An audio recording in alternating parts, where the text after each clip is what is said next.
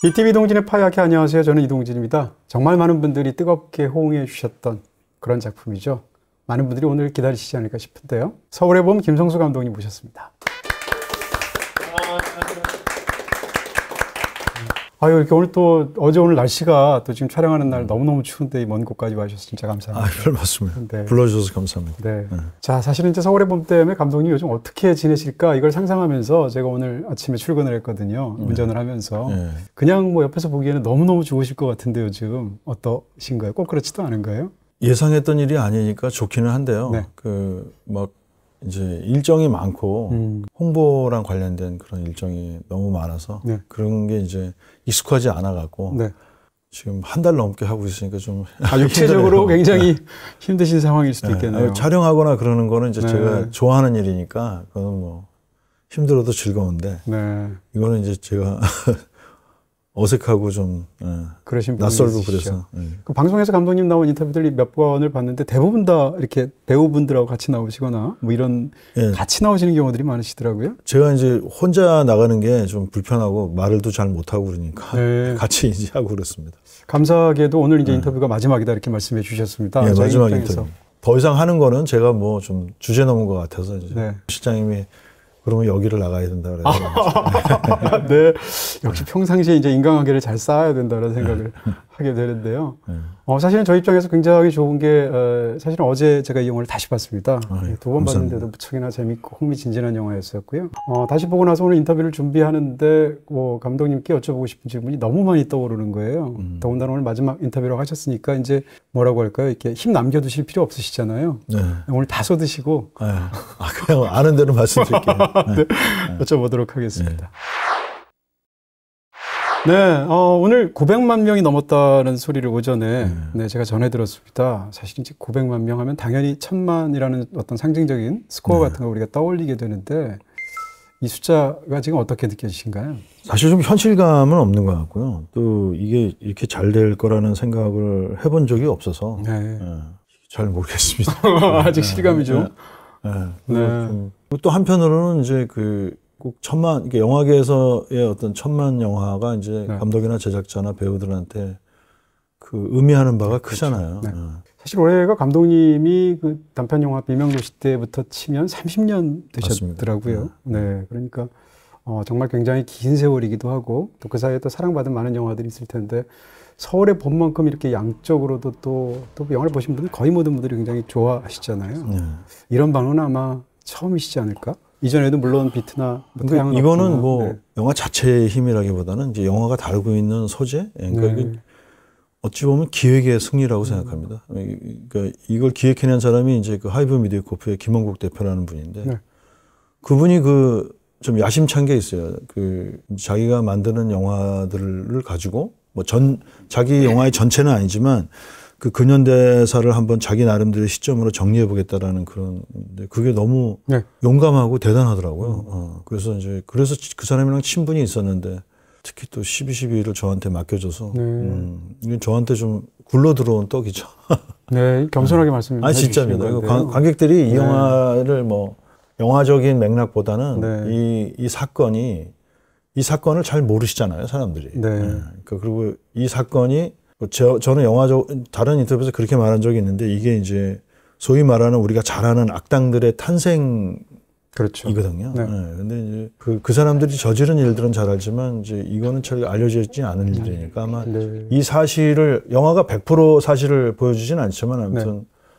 거의 사실에 기반해서 만든 거니까 네. 그 사실을 접하는 데서 오는 충격 네. 또 거기서 오는 그 어떤 안타까움 이런 게 이 영화의 지금 견인 역할을 하는 것 같아요. 감독님 그 음. 나이로 역산을 해보니까 12, 12때 18살 정도 예, 고등학교 것 같습니다. 3학년이었습니다. 예. 근데 12, 12때 그 총성을 들으셨다는 얘기를 제가 전해 네, 들었거든요. 제가 한남동 살았는데요. 아, 그날이 저희 집안에서 이제 저희 아버님 돌아가시고 형님이 결혼하시자마자 이제 네. 아들을 낳았어요. 근데 그 친구가 78년 12월 12일생이에요. 그래서 아, 네.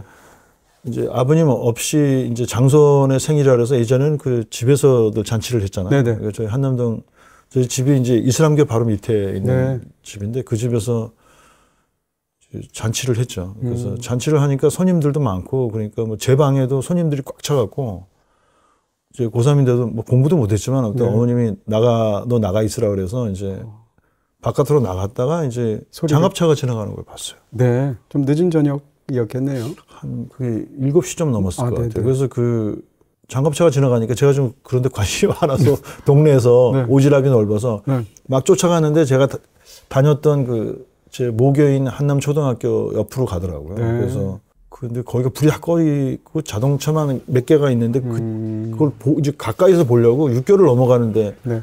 군인 아저씨들이 완전 무장하는 군인 아저씨들이 막더라고요. 막는데 그때 총소리가 났어요. 어. 근데 아저씨들이 앉더라고요. 자리에 확 앉, 앉아서 어. 저도 얼떨결에 앉았더니 이제 가라고 네. 그래서 이렇게 아, 왜 그런지 모르죠. 앉은뱅이 걸음으로 육교를 거꾸로 내려왔는데 집에 못 가고 네. 어. 너무 무서우셨을 것 같은데 네, 소리가 들리는데 근데 네. 그게 어, 너, 왜, 아니, 동네에서 총소리가 나는 게 너무 신기하잖아요. 그래서 그 건너편에 있는 그, 그 어. 그, 그 공관천 정문에 있는 편으로 있는 친구 집 옥상에 올라가서 봤는데 네, 네. 잘 보이진 않는데 총소리가 음.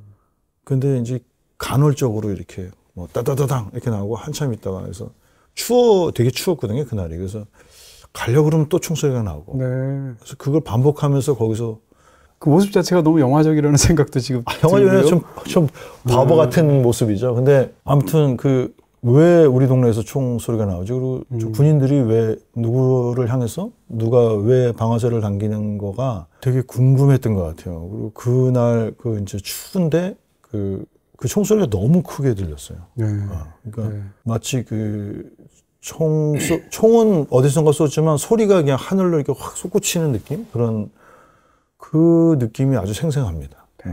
그냥 듣는 저의 입장에서는 이제 아, 이 작품이 거의 운명처럼 느껴지지 않을까 이런 생각도 사실 듭니다. 왜냐하면 음. 지금 그 총소리를 들었다는 것도 굉장히 희귀하게 느껴지고요.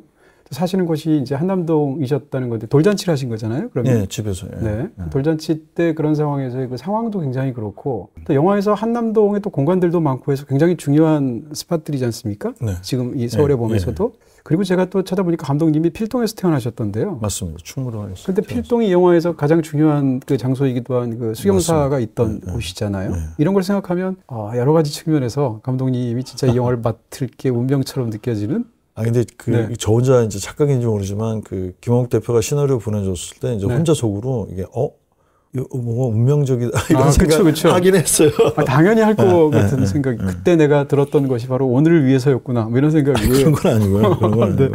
아니 근데 그날 들었지만 네. 이제 제가 이제 충무로에서 조감독 생활하고 이제 영화로 데뷔하려고 하던 그 무렵에 네. 이제 하나의 척결이 이루어졌어요. 네. 그래서 그 우공청문회가 있고 아, 그다음에 네. 네. 그리고 그 사람들이 결국 이제 그 제가 영화를 막 데뷔하는 그 무렵에 네. 그 사건이 굉장히 큰 사건이었는데 제가 다른 사람들보다 훨씬 관심이 많았던 것 같아요. 그래서 아, 네. 그걸 다 일일이 찾아보고 보면서 그날 왜 총성이 울렸는지에 대한 내막을 되게 알고 싶어 했는데 그걸 알면 알수록 어, 너무 속상하더라고요. 네. 좀 너무 납득도 안 되고 이런 그리고 그런 일이 벌어진 거로 인하여서 저의 20대, 그러니까 저의 20대가 아니라 이제 저 또래 사람들의 그 20살 또 30대 초반까지 그런 이날 그날 그 일이 없었으면 네. 우리들의 네. 20대가 달라지지 않았을까 이런 생각을 하면서 아주 오랫동안 속상해했던 기억이 있습니다. 네. 사실 12.12가 아니었으면 5.18도 없었을 수 있고요. 아, 그렇죠. 네, 그런 여러 가지 측면에서 짚어주셨는데요. 그렇게 깊은 인연을 가지셨는데 처음 그 기획 제안, 이렇게 연출 제안이 들어왔을 때 감독님께서 약간 왜 꺼리셨다는 이야기를 네, 들은 적도 네, 있습니다. 네. 왜 그러셨을까요? 아, 시나리오는 그 거의 네. 네다섯 분이랑 다 유명한 시나리오 작가, 네. 뭐 이영종 작가라든가 이지민 작가라든가 굉장히 충무로에 잘 알려진 작가들이 쓴 시나리오에서 시나리오 자체는 굉장히 좋았어요. 음, 그런데 네. 제가 이제 이거랑 관련된 드라마들도 많이 봤을 거 아니에요. 근데 제5공화국을 압축한 것처럼 음, 네. 그때를 거의 다큐멘터리 같은 시나리오였어요. 네. 그래서 저는 이거를 다큐멘터리로 만들 필요가 있을까? 다큐멘터리가 존재하는데 이런 생각이 들었던 것 같아요. 네. 제가 이제 오면 제 아주 친한 뭐 이목의 차는 감독이나 뭐 저희 주변 사람들한테 보여주는데 이거 하면 그 반란군들의 승리의 기록으로 받아들일 수 있다고. 근데 그 말을 듣는 순간 어 그 그렇겠다라는 생각이 들어서 사건으로 보면 그렇죠. 그렇죠. 네, 그래서 네.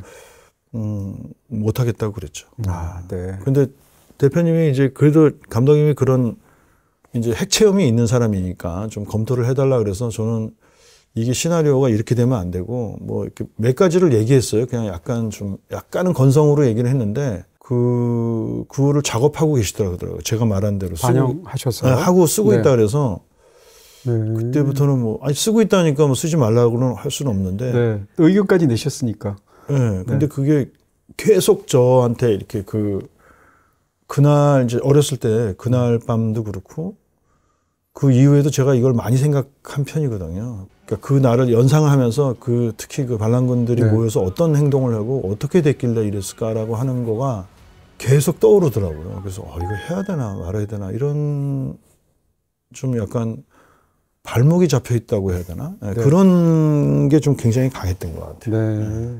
배우들에 관한 얘기 먼저 좀 여쭤보고 네, 네. 구체적으로 이제 영화 속으로 들어가 보도록 하겠습니다. 사실 이제 영화를 보면서 제가 다른 그 저희 프로그램의 또 다른 컨텐츠에서도 그런 말을 한 적이 있는데 정말 프로페셔널들이 만든 영화구나 그 생각을 제가 했습니다. 뭐 감독님 말할 것도 없고 뭐 스태프들도 그렇고 또 배우들도 그런데요. 일단 정우성 씨에 관해서 좀 여쭤보고 싶은데요. 어, 어떻게 생각하면 정우성이라는 배우의 가장 멋진 모습들이 그동안 감독님 출연 작들 속에 다 담겨 있는 것 같은. 다른 영화에서도 멋있게 나옵니다. 아, 물론 그렇죠. 아니, 어디에 나와도 멋있는 네, 분인데요. 네, 네. 비트라든지, 네. 비트는 뭐 지금 전설이지 않습니까? 네. 태양은 없다라든지, 또 무사 같은 작품을 보면서 제가 놀란 거는 그 당시에 아니 그 정우성 씨의 그 봉술 연기가 너무 액션 연기 같은 것도 너무 뛰어나기도 하고 이런 측면에서 그러다가 아수라를 거쳐서 지금 이 서울의 봄을 보면서 정우성 씨가 특히 이제 전화를 걸어서 그 스피커폰으로 이렇게 소리가 울려 퍼지는 가운데 그 대가리를 어, 음, 탱크로 음, 깔아 뭉개겠다는 음, 소리 한 음. 일갈하지 않습니까? 심지어는 네. 자기보다 어, 중장이라서 더 네. 계급이 높은데 그런 장면들 보면 정말 최적의 어떤 그 배역을 맡은 것 같은 느낌이 있는데 네. 누구보다도 정우성 씨를 잘 아는 입장에서 어떠셨습니까 이 영화에서? 첫 번째 캐스팅 한 사람은 그 황정민 씨였어요. 네. 왜냐하면 전두광을 누가 하느냐가 이 영화의 관건이었고 네네. 네. 사실 주인공이 전두광이라고 생각했기 때문에 네. 근데 이제 황정민 씨가 하고 난 다음에 이제 원래는 그 이태신 역할이 그렇게 비중이 세지는 않았거든요. 처음 네. 시나리오에서는. 근데 이제 제가 합류하고 난 다음에 이 역할을 키워야 된다. 네. 그래서 그 이 역할을 키우는데 아무리 키워도 전두광에 맞서지 못할 것 같더라고요. 음. 어, 그래서 이제 이 역할을 원래 실존 인물 그분이랑 다르게 이제 역, 성격도 바꾸고 이제 원래 그 실존 인물 그 장태환 장군은 어떻게 보면 그 이 반란군들보다도 더 불같으신 분이고 네. 더막 그냥 다혈질이시고 네. 뭐 거침이 없으신 분인데 사투리도 되게 강하시고 네, 강하시고. 어. 네. 근데 또 전두환이 이, 이 욕망의 불덩이가 아주 타오르는 사람이었기 때문에 반대편에 있는 장군은 이제 지금 젊은 관객들이 볼 때는 좀 네. 지금 사람들이 볼 때에 좀 좋은 리더십처럼 음. 보이기를 음. 바랬어요. 그래서 네. 어, 이게 여기가 물이라면 아, 여기 뜨거운 불이라면 여기는 좀 깊은 호수 음. 같은 그런 네. 좀 이렇게 대비되는 인물로 하면서는 네.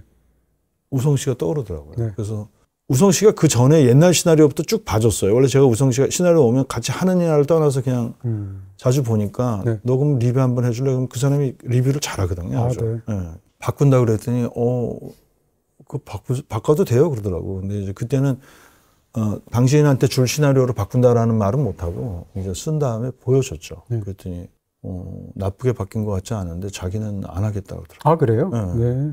그 왜냐하면 그 정재 씨하고 이정재 씨하고 우성 씨하고 이제 헌트를 막 끝낸 직후여서 네. 어, 뭔가 유사성이 있다고 생각했던 것 같아요. 음. 그래서 그렇게 음. 생각하니까 이제 품성이라는 측면에서 보면 그 두 캐릭터가 약간 네. 유사성이 있네요. 그렇죠. 그것도 네. 그 전두환이랑 연관된 인물이니까. 그러네요. 그래서 그때는 뭐 개봉이 되지 않는 무렵이었으니까 네. 영화들이 네. 정재 씨는 정재 씨가 또 유명하기 때문에 이제 그 찍자마자 바로 개봉이 되긴 했는데 그 당시에는 어떤 영화가 먼저 개봉되느냐를 모르니까 아마 자기가 네. 우리 영화를 하는 게 정재 씨 영화에 음. 굉장히 큰 누를 끼칠 수 있어서 그래서 이제 계속 매달렸죠. 음. 네.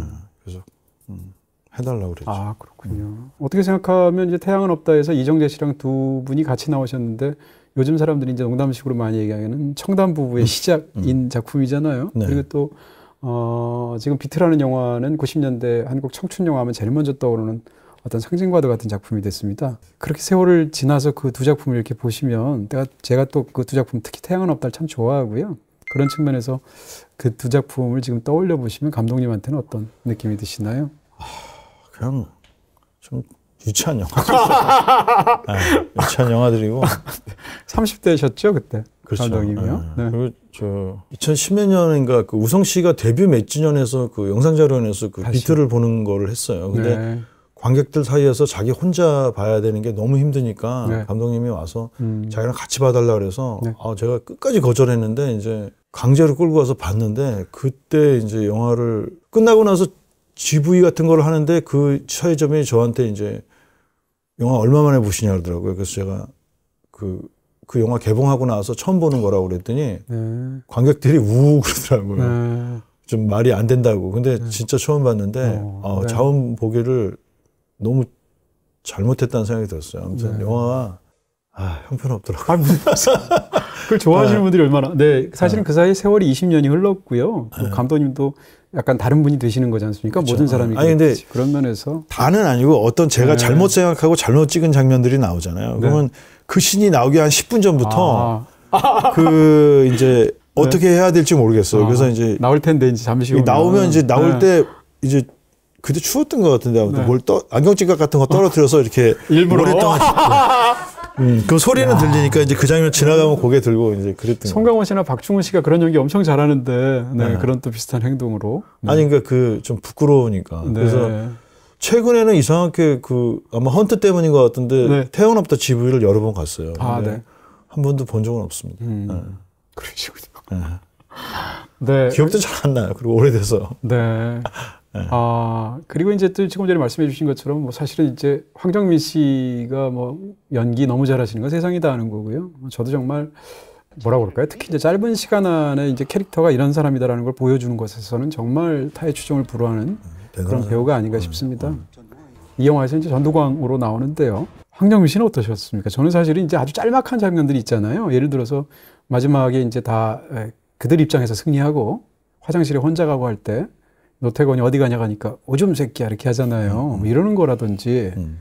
그다음에 충성을 맹세하는 초반에 그 강기루 씨인가요? 네, 그런 네. 장면에서 됐어 이 음. 새끼야 이렇게 말하면서 네, 네, 네, 자리에 앉히면서 음. 장난스러우면서도 음. 여기가 네 자리다라고 말할 때 음. 이런 장면들은 사실은 별로 그렇게 힘을 준 장면이 아니잖아요. 네. 그런 데서도 참 굉장하다고 생각이 들었거든요.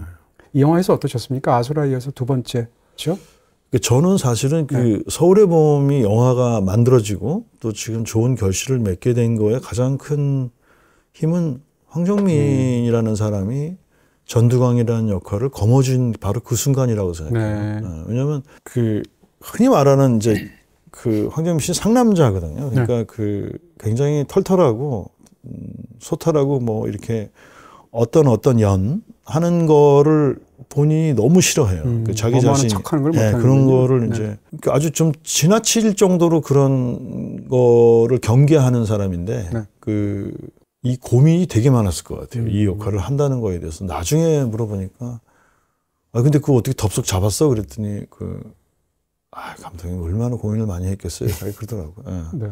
네. 근데 그 사람이 그런 말을 내가 얼마나 많이 고민했겠어요라고 말할 정도면 정말 뭐 음, 음, 어, 그렇게 이루 말할 수 없이 고민했던 것 같아요. 근데 음.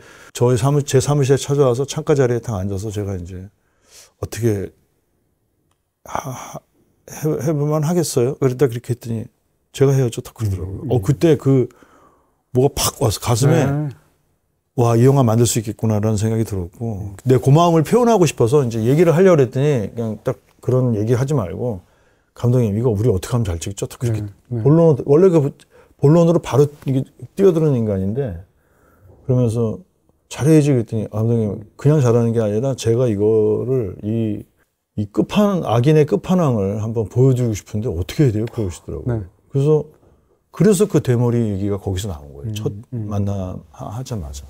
그런 용감한 결정 왜냐하면 그 정치적 이슈 이런 거에 대한 좀 거부감이 있거든요 그 사람이 근데 그거를 결정해주고 또 이렇게 잘 해주고 그리고 관객들이 그 인물에 대한 어떤 매력을 느낄 그런 네. 흠입조차도 마치 네. 문풍지를 테이핑하듯이 네. 그런 그렇게 해준 황정민 씨가 정말 너무 멋진 것 같아요. 음, 네. 사실은 저도 그 배우분들이 실제로는 어떤 사람인지를 제가 뭐 개인적으로 친구가 아니까 알 수는 없죠. 근데 저도 이제 여러 번 인터뷰를 한 경험에서 보면 뭐라고 할까요? 카메라 앞에서와 바깥에서의 편차가 가장 적은 배우 중에 하나가 음. 황정민 씨처럼 느껴지기도 하고요. 예, 예.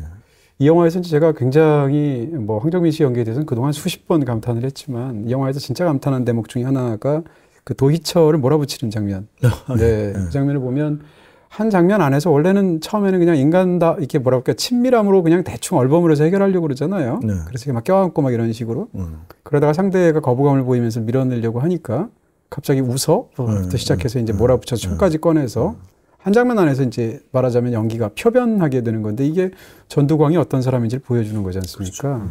그 장면 어떠셨습니까? 이제 도이처를 설득하는 그 장면은 네. 저희가 데이신을 찍다가 나이트 신을 찍어야 되는 시간이어서 하루에 찍어야 되는 시간의 경계가 정해져 있는 어, 날이었어요. 그래서 네.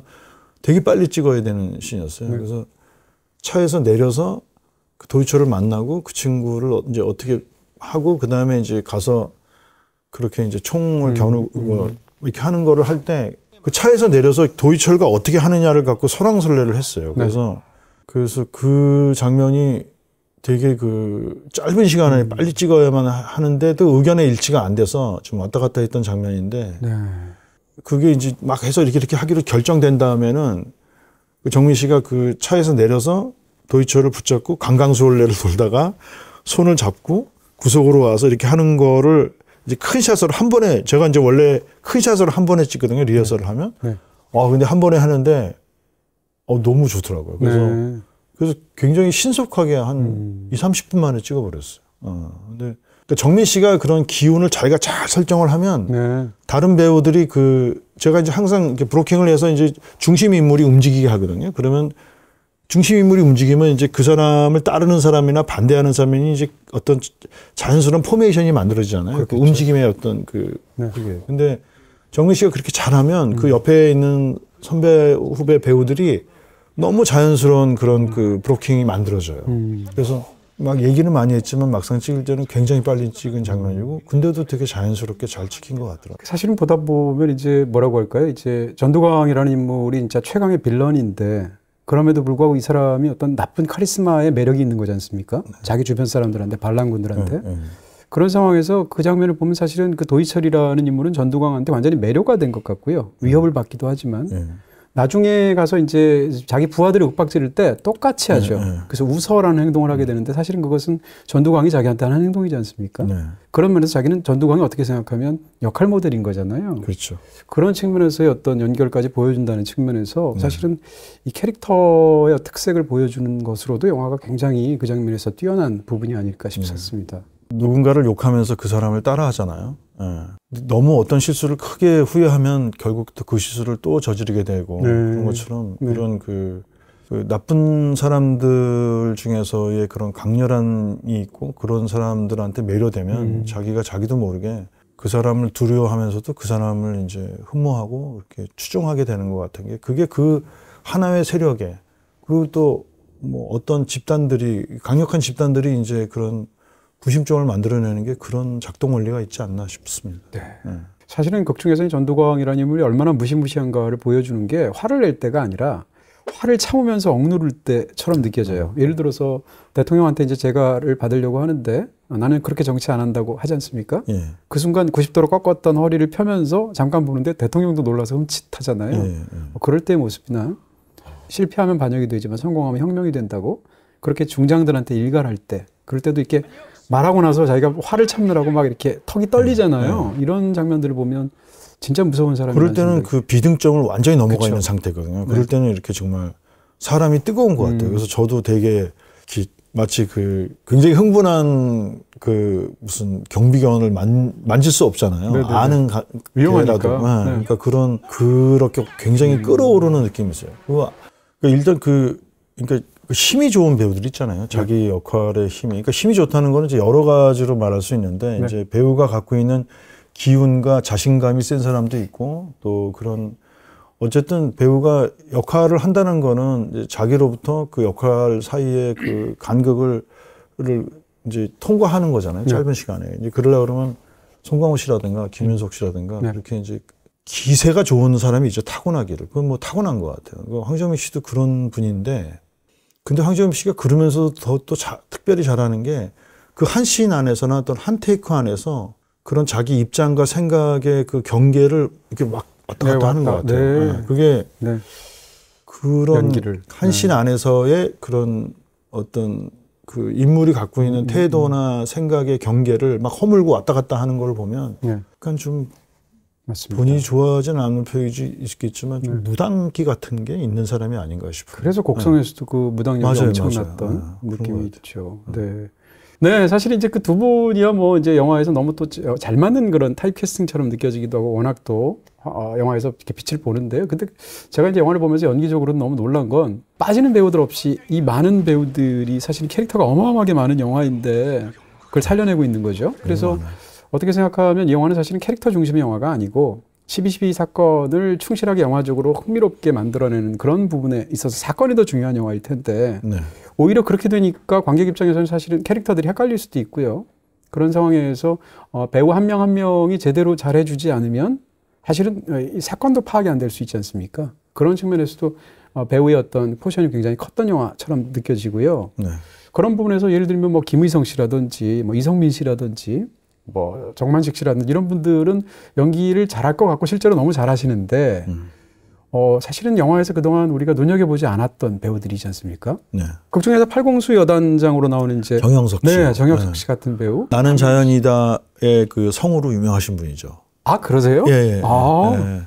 아 그렇군요. 예, 예. 네. 그 목소리를 알아보시는 분들이 많더라고요. 네. 예. 그러니까 그 정영석 씨라든지 혹은 이제 남윤호 씨라든지 상대적으로 그동안 네. 어, 스크린에서 눈여겨보지 않았던 배우들도 그 역할들이 너무 잘 되어 있는 거예요. 예. 그런 측면에서 감독님께 여쭤보고 싶은 건 이 배우 한 명 한 명한테 일일이 다 direction을 주시지 못하셨을 것 같고 아주 자세하게는 이게 어떻게 이런 그 훌륭한 그런 앙상블이나 연기들이 아니, 뭐 가능했을까요? 감독이 하는 일 중에 하나가 이제 그 뛰어난 사람을 그 데려오는 거죠. 네. 그 스텝도 그렇고 이제 연기자도 그렇고. 그러니까 연출자라는 게 이제 연기를 뽑아내는 사람이라고 하지만 제가 이제 연출 능력이 별로 없어서 이번 영화에서는 너무 많은 분들이 나오니까 네. 이제 연기를 잘하시는 분을 뽑자. 그리고 어떤 역할에서는 음. 좀 지명도 있는 분을 뽑자라고 해서 아 이렇게 캐스팅 과정이 길고 지난하고 이제 근데 결과적으로는 다 잘하시는 분들이 하시니까 그분들이 뭐 알아서 그냥 자 너무 잘해 주셨어요. 네. 대신 그 유명하지 않지만 정현석 씨는 그 목소리가 이제 제 생각에는 전화 통화기 때문에 그러네요. 예, 전화기에서 들려오는 목소리이기 때문에 그 목소리의 좀 진실성과 그러네요. 어떤 네.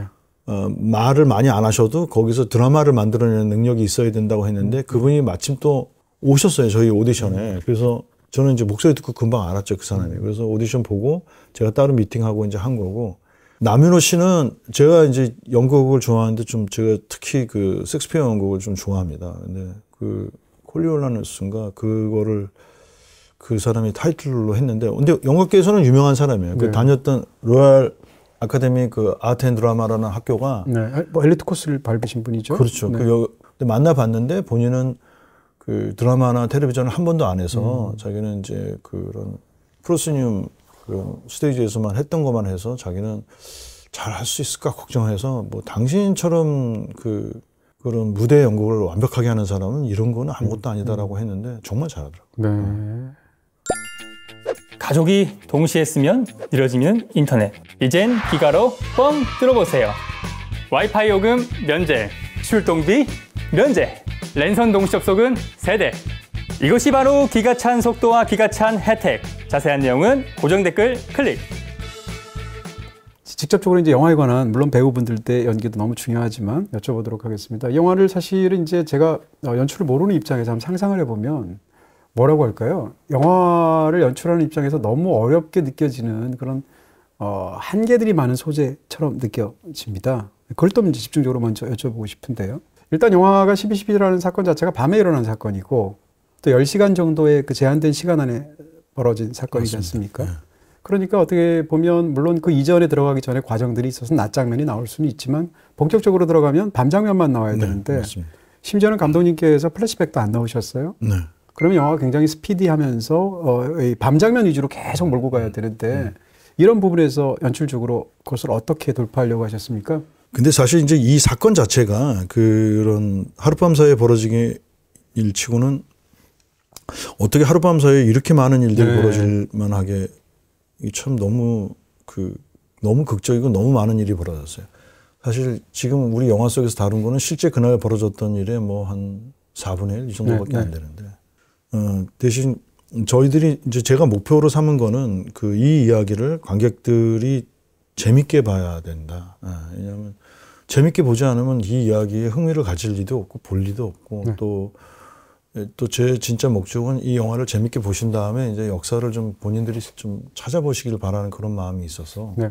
그, 그 사건을 배열하고 그 이제 그 배열을 이제 따라가는 그 구조를 만드는 거를 갖고 고민을 많이 했던 것 같아요. 네. 근데 보통 우리 예전에 이제 어떤 책인지 기억나는데 옛날 시나리오 책을 보니까 외국 책인데 이제 첫 장을 넘기니까 영화 속에서의 시간은 그 한꺼번에 흘러간다. 그러니까 주인공의 시간만 흘러가는 게 아니라 그 영화 속 영화 속이 하나의 세계니까 그 음. 세계 속의 음. 모든 그 공간에서 똑같이 시간이 흘러간다는 걸 네가 기억해야 된다라고 써 있던 책이 있어요. 네. 그래서 그래서 그 다음에 뭐 제가 그런지 못 쓰지만 항상 시나리오 쓰면서는 이제 아 이게 그 누구의 시간이 중요하지만 그 그리고 관, 관객들은 사실 중요하지 않은 공간이나 사람들의 시간은 중요하지 않다고 보기 때문에 네. 중심 인물의 시간만 따라가게 되는데 네. 근데 항상 그 좋은 영화들은 이제 그런 그, 그 세계가 음. 주인공의 시간이 아닌 시간까지 같이 이렇게 연동되는 영화들이 좋은 영화들하고 네. 라고 생각했고요. 저는 좀 제가 왜 그런지 모르지만 제가 플래시백을 사용을 안 하거든요 영화 속에서. 네. 네. 편집 감독님의 강력한 요청으로 아수라에서 딱 한 커트가 나왔는데 음. 그거는 이제 제가 원해서 한 건 아니고 뭐 너무 제가 중요한 장면이라고 하는데 그 장면을 이제 빼버리셔갖고 제가 막 화를 내니까 이제 플래시백으로 한, 그 아내하고 만나는 장면을 살짝 넣었어요. 근데 네. 그 장르 영화 감독이라고 하면서 이제 사실 플래시백을 안 쓰는 거는 제가 좀 잘못이지만 그 근데 어쨌든 저는 그 플래시백이 뭔가 관객들을 강제로 네. 시간 이동을 시키는 것 같아서 음. 그게 저는 좀 좋지 않다고 생각하거든요. 네. 근데 이 영화는 이 시간을 플래시백을 쓰지 않는 대신 이 여러 개의 시간을 어떻게 선별해서 어느 시간을 갔다가 어느 시간으로 가느냐를 네. 선택하는 거를 갖고 그 시나리오를 쓰면서도 그런 도상 훈련처럼 많이 했던 것 같아요. 네. 아, 그러니까 이 장면을 보여주는 게 맞나? 요 다음에 이런 게 나오는 게 맞나? 이런 거를 많이 하고 또 영화를 다 촬영한 다음에도 편집하면서도 이제 그 편집 감독님이나 제가 이제 이다 이신 다음에 이 신이 오는 게 맞나 안 맞나 이런 거 갖고 굉장히 얘기를 많이 했던 것 같아요. 왜냐하면 네. 근데 그게 그 시간의 순서보다는 관객들이 영화를 이제 한 호흡으로 네. 예, 그러니까 이렇게 멈추지 않고 봐야지만 이 이야기의 끝에 도달할 수 있다는 생각 때문에 그거를 갖고 굉장히 많이 하고 제가 영화는 좀 후진 영화들만 찍었지만 평생을 영화를 해서 공부도 나름대로는 좀 했다고 생각하는데 그럴 때 이제 제가 쭉 공부해온 어떤 제 생각의 수준에서 이제 결정을 내리잖아요. 근데 그게 너무 어렵더라고요. 그래서 네. 한번 축조했다 그걸 또 무너뜨리고 네. 또 여기서부터는 이렇게 가서 하는 걸로 해서 하면 어떨까라고 하는 거를 굉장히 많이 한 것 같아요. 네. 네. 그게 이제 사건의 성격이기도 하고 그렇죠. 지금 감독님께서 결국 이제 영화, 영화라는 것은 시간을 다루는 매체인데 거기에 맞습니다. 대한 음. 감독님의 연출 철학이 담겨 있는 부분이기도 할 거고요. 철학은 아닌데 이제 네. 아니요, 그 굉장히 중요하게, 네, 중요하게 들리는 네. 그런 부분을 네. 말씀해 주셨고요. 네. 어, 그렇게 밤 장면 위주로 영화를 이제 사실은 찍을 수밖에 없는 소재 자체 특성이 있는데 그렇다면 당연히 필연적으로 조명이 중요해질 것 같고요. 어, 음. 더군다나 이 영화 속에서는 인물들이 대부분 다 군인이기 때문에 이 옷이 이제 컬러풀하지 않지 않습니까? 네, 네. 그런 상황에서 이제 채도도 굉장히 낮을 것이고 밤 장면 위주인데 그 조명을 어떻게 처리하는 부분에서 영화가 굉장히 인상적인 부분이 많습니다. 네네. 일단 영화 속에서 이제 광원이 그 쇼트 안에 직접 노출이 되는 장면들이 굉장히 많고 네. 그다음 광원을 이용해서 인물의 어떤 표정 같은 것을 컨트라스트를 줘서 네. 음영이 대조되도록 이런 네. 방식을 굉장히 많이 쓰셨어요. 많이 썼죠. 이 영화에서 그런 촬영과 조명을 하셨을 때 어떤 원칙 같은 게 있으셨다면 어떤 음. 것이었습니까? 그러니까 제일 큰 거는 이제 촬영 감독인 이목의 촬영 감독이랑 이제 조명 감독인 인성환 감독이랑 같이 얘기를 많이 했는데 네. 저희가 이 영화는 실제 있었던 사건 그러니까 그건 또 뭐 미술적으로는 고증이라고 할 수도 있겠죠. 그러니까 네. 실제하고 저희가 영화적으로 하는 그 영화적인 표현, 픽션이라고 음. 하는 그 두 개의 어떤 그 꼭지점 사이 중간 어dim에쯤에서 항상 그 좀 어느 쪽으로 치우치지 않아야 된다고. 근데 어느 쪽으로 치우치지 않다는 거는 한쪽에서 보면 진짜처럼 보여야 되고 네. 다른 한쪽으로 보면 그거는 우리가 이 스토리를 전개하 그러니까 이제 스토리텔링을 하고 있는 입장에서의 어떤 극적인 표현을 같이 해야 된다라고 하는 것 때문에 네. 얼마만큼의 고증과 얼마만큼의 그런 창작 사이에서 우리가 결정을 해야 되는 것 같고 사실 좀 무의미한 회의라고 할 정도로 그 네 명이서 음, 네. 미술 감독과 장근영 씨까지 해서 넷이서 네. 굉장히 많이 얘기를 했던 것 같아요. 네. 그래서 그런데 그렇게 결정을 했는데도 촬영장 안에서 굉장히 그 계속 어 감독님이 너무 드라마틱하게 찍는 거 아니에요? 그러면 음. 제가 아 이거는 이거 이거는 100% 사실이기 때문에 이거는 좀 드라마틱하게 찍어도 음. 돼라고 얘기하거나 네. 아니면 이제 아 또 촬영 감독이 카메라 하면 어 그건 너무 음. 다가간 것 같아. 좀더좀 잘 보이지 않는 그러니까 우리가 사실을 찍을 때는 바로 옆에서 찍을 수가 없잖아요. 네. 그러니까 약간 어, 이렇게 억지로 찍으려다가 보면 좀 화면이 구도가 불안정해지고 약간 그 1번 제일 잘 찍히는 1번 포, 그 카메라 포지션은 2번이 아니라 좀 비껴서 있는 포지션. 그래서 네. 야 이건 너무 너무 잘 찍히는 앵글인 것 같아. 그러면 음. 좀또 다른 좀 네. 구석으로 가는 앵글로 바꾸고 그런 대화를 좀 많이 했던 아, 것 같아요. 아까 네. 말씀하신 그 조명은 지금 이 선생님이 처음 얘기해 주시는 것 같은데 네. 사실은 저희가 제일 많이 신경 썼던 부분입니다. 네. 왜냐하면 그 옛날 공간이기 때문에 그 옛날 공간을 주려면 아무래도 조명이 그 공간을 비추는 방식이 이제 그, 그 시대를 환기시키잖아요. 네. 아, 그래서 저희들이 한 거는 이제 practical lighting. 그러니까 그 공간에 있을 만한 그 lighting이 그 안에다가 가능하면 그좀 과할 정도로 많이 심어놓고. 네. 근데 그게 관객들한테는 저런 조명이 그 화면 안에 존재하는 거가 이제 조명이 눈에 들어오니까 일단 그게 네. 관객들한테 실제감을 주고 대신 그 조명이 관, 사람들한테 간섭을 하다 보면 네. practical lighting이라는 거는 사실은 우리가 조명이 이렇게 잘 올 수 있는 구조가 아니기 때문에 네. 그 입사각이 나쁜 입사각이 되면서 네. 나쁜 그림자들이 생기는 거죠. 네. 근데 그런 그림자가 생기는 거를 영화 안에서 좀 적극적으로 차용해서 네. 아주 중요한 순간에도 오히려 그런 불안정한 lighting이 들어와서 그 이게 실제의 lighting이다라는 것도 주고 두 번째는 이제 그 일테면 정우성 씨 얼굴을 관객들이 영화 내내 볼 필요가 없잖아요. 잘 네. 얼굴 얼굴이고 뭐 네. 황정민 씨 얼굴도 그러니까 네. 오히려 결정적인 순간에 그 인물의 얼굴을 어둠으로 만들어서 네. 오히려 관객들의 상상력을 더 자극할 수 있지 않을까 이런 네. 좀 생각을 많이 했던 것 같아요. 바로 그 점에서 이제 가장 인상적인 장면 중에 하나가 이제 전두광이 그 총리 공간을 탈출하는 차 한 장면. 네. 그 장면을 보시면 그 라이팅 때문에 음. 눈 위로는 안 보이고요. 네. 코 밑으로는 밝게 보이죠. 예, 그러면서 입으로만 지시를 하고 있는데 눈은 음. 제대로 보이지 않는 네. 그런 그 조명의 어떤 자연스러운 상황을 이용하신다거나 예. 아니면 극 중에서 이제 인물들 둘이서 그것이 이제 무슨 어, 두 사람 사이가 친구 관계든 아니면 서로를 의심하는 관계든 대적하는 관계든 간에 대화를 나눌 때 상당 부분 실내에서 창문 쪽으로 이동을 합니다. 예, 맞습니다. 창문으로 이동을 하면 당연히 창문을 향해서 들어오는 어떤 빛이 존재가 네, 있게 되고 네.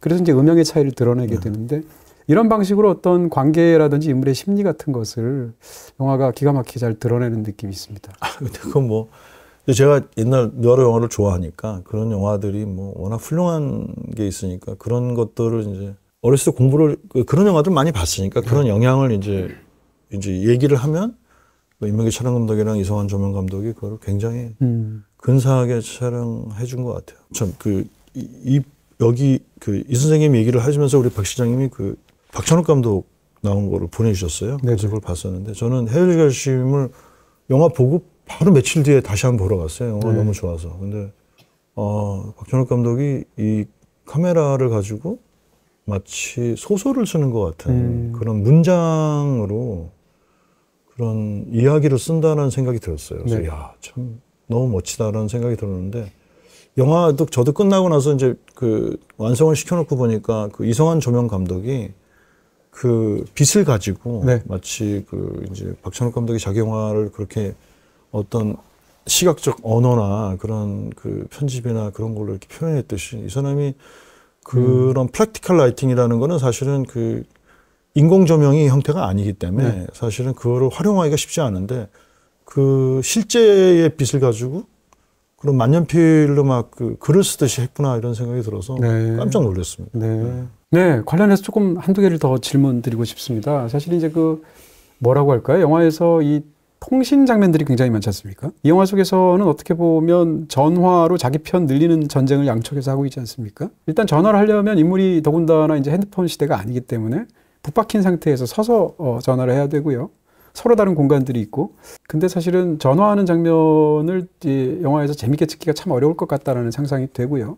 그런 측면에서 이 통신 장면들이 굉장히 많은데 이게 사실은 실제 사건이 그랬다 할지라도 연출적 입장에서는 굉장히 많은 한계로 느껴질 것 같아요. 시나리오 처음에 나왔을 때 네. 사람들이 보고 뭐 이건 전화기 액션이에요. 그러네요. 네. 그래서 저희가 좀 다양한 전화기 그 당시에 있을 법한 다양한 전화기나 다양한 무전기를 이제 이제 쭉 모아서 네. 이 장면에서는 이걸 배치하고 그러면 또 그걸 옆에서 군사 자문단 하시는 분들이 이제 음. 이 전화기가 여기 있으면 안 됩니다. 뭐 이렇게 네. 얘기를 많이 해줬는데 그 제가 이제 쓸 수 있는 방법은 그거였어요. 그러니까 중요한 전화 장면에서는 배우들이 거기 같이 있어야 된다. 그 전화선 어. 넘어 있는 사람. 그래서 네. 이제 뭐 유성주 씨하고 그 그러니까 그 참모 차장이죠. 황정민 씨하고 전화 통화하는 장면, 그 신사협정 맺을 때는 두 배우한테 스케줄을 잡을 때이 네. 사람이 연기하는 날 이 사람도 있게 하고 이 사람 하는 날 네. 있게 하고 그다음 정우성 씨랑 그 저기 정영석 씨랑 한 그 팔공수 여단장 네. 장면도 같은 스케줄을 해서 음. 아내하고 전화할 때도 그렇고 그래서 배우들한테 수고스럽지만 근데 이제 이거 왜 와요? 그냥 녹화 녹음해서 쓰시면 안 돼요 그러는데 그 제가 그렇게 부탁을 드려서 음. 그 전화기 너머에 계시는 분이 그날 같이 와서 대신 이제 이분이 안 보이는 위치로 이렇게 뒤로 숨어서 이제 그분이 얘기를 해주시고 네. 이분이 이제 전화기로 액션 이런 방법을 썼습니다. 네. 음, 그게 조금 도움이 된 것 같아요. 그래서 그 두 장면 지금 그 거론하셨던 장면들이 더 어, 관객들한테 인상이 남는 것 같고요. 예를 들어서 음. 그 어, 전두광이 이제 참모 차장한테 전화를 하시는 조금 전에 말씀해 주셨던 그 장면을 보면 복도에 이 전두광은 혼자 아, 뒤에 물론 부하들이 있지만 나왔을 때 이 유선 전화기를 끌고 이렇게 손을 들고 예, 예. 음. 그 상태에서 움직이면서 예, 통화를 하면서 신사협정을 맺자고 예. 2공수와 8공수를 예, 같이 예. 빼자고 얘기를 하고 있고 참모 차장은 그 얘기를 스피커폰으로 듣는데 뒤에 수많은 도열에 있는 사람들과 함께 그 이야기를 듣잖아요. 그래서 그런 것들이 사실은 이제 인물의 어떤 움직임이나 뭐 블로킹 포함해서 네. 어, 어떤 그 양자 사이에서의 어떤 힘의 어떤 향배를 그렇죠. 그렇죠. 결정한다고 그럴까요? 네. 그런 네. 느낌에서 맞습니다. 굉장히 흥미롭습니다. 그러니까 예를 들어서 그 벙커 장면에서 이제 육군 육군 벙커 비트 벙커에서 여러 명의 이제 장성들과 그 중간에 이제 참모 차장이 전화하는 장면을 찍을 때는 네. 복도 뒤쪽에 이제 정민 씨가 이 사람들이 안 보이는 장소에다 정민 씨를 이제 숨겨놓고 네.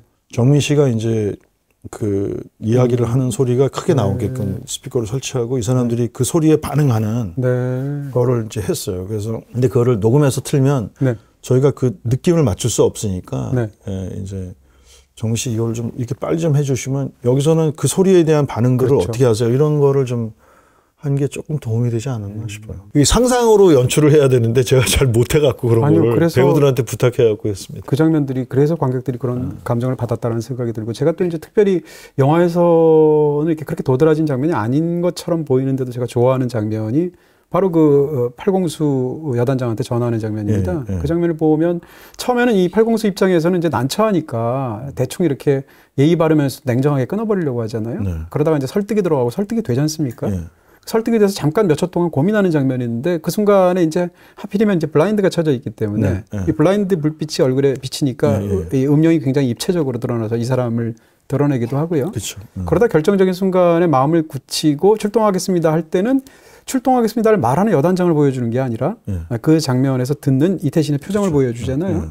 이런 부분에서 저런 장면들은 뭐라고 할까요? 그냥 평범한 장면처럼 보이는데 굉장히 입체적으로 저한테는 음. 굉장히 음. 흥미롭게 느껴졌습니다. 그 정영석 씨 목소리가 너무 좋아요. 음. 그 워낙 그 뛰어난 성우분이니까. 근데 네. 그거는 콘티부터 원래 이제 이 이태신이라는 사람이 갖고 있는 그 어떤 시, 자기 신념, 그러니까 자기는 끝까지 싸우겠다라고 하는 그런 태도를 보여주는 거기 때문에 네.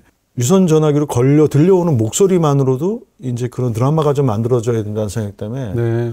아 역시 그 목소리를 그러니까 성우분들은 얼굴이 없이 목소리로만 연기를 그러네요. 하니까 그게 정말 대단하시더라고요. 전화 액션에 최적화된 배우를 그렇죠. 그래서 그 장면에 그 오버 옵 사운드로 네네. 나오는 목소리는 이제 원래부터 계산이 돼 있었고 음, 음. 그걸 정영석 씨라는 뛰어난 목소리를 가진 분이 해 주신 거죠. 그럼 모의 과정에서 이제 그 감독 이 뭐라고 할까 연출적으로도 굉장히 많은 것들이 들어가 있는 어 그게 어떤 장면인가 하면 이제 그 에, 전두광 자택에서의 장면. 아, 예, 예. 네, 그 장면을 얘기할 수 있습니다. 그 장면이 영화에서 가장 어두운 장면이고 음. 그 불을 언제 켜 고 끄느냐에 따라서 이제 굉장히 중요한 포인트들이 있고 네. 사실은 자기들보다 계급이 높은 그 중장들이 앉아 있음에도 불구하고 딱 두 사람이 일어서서 각각 스위치를 하나씩 끄는데 그게 이제 하나는 전이고 하나는 노지 않습니까? 네. 그런 상황에서 불을 끄는데 제가 그 장면을 또 너무 좋아하게 된 것은 그렇게 불을 끄고 나서 어, 어, 어떻게 보면 두 소장이 일가를 하게 되는데 중장 중에 한 명이 못마땅하게 담뱃불을 켜는 장면입니다. 네, 네. 담뱃불을 붙인다는 얘기는 사실은 어떻게 생각하면 불을 끄고 그것을 밀어붙이려는 두 사람에 대해서 약간 속으로 못마땅한 시큰둥한 게 있는 그렇죠. 그걸 이제 담뱃불로 맞습니다. 붙이는 건데 네. 그 담뱃불로 붙이는 순간이 너무 저한테는 인상적인 아, 거예요. 네. 그런 측면에서 그 거기서 이제 하나의 핵심들이 모여서 장면을 모의하고 설명하고 설득하는 장면 그 장면은 또 사람도 엄청나게 많고 찍으셨을 때 어떻게 하셨는지. 그 장면이 제일 관건이었어요. 그래서 사실은 이제 그게 그 처음 시나리오에서는 그 사람들이 잘 가는 술집에 네. 어떤 큰 방에서 하는 아. 거였었고, 네.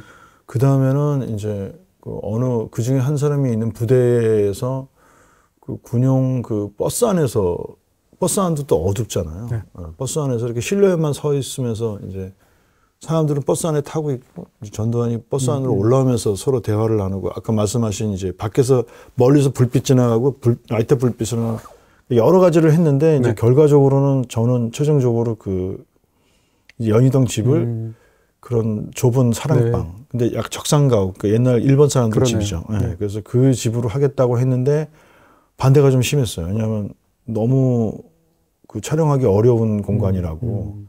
음. 그래서 제가 그 아니 버스보다는 이게 낫지 않냐 그랬더니 이제 그 아무튼 집에 그러니까 저희가 헌팅한 공간이 좀 큰 집이어야 되는데 너무 작은 공간이라고 열여섯 사람이 들어가기 너무 어렵다고 막 그래서 그리고 불 끄는 것도 이제 조명 감독은 뭐 당연히 좋아했고요. 다른 사람들은 그게 좀 왜 불을 끄냐고 네. 막 이상하다고 네. 그 그런 이제 여러 가지 좀 의견이 있었어요. 그래서 그래서 그거를 저 나름대로는 제가 메인 스탭들하고는 항상 회의를 많이 하고 네. 그 사람들을 제가 설득해야지 관객이 설득된다는 생각을 하거든요. 네. 제 메인 스탭들이 워낙 자기 주장이 너무 강한 사람들이어서 네.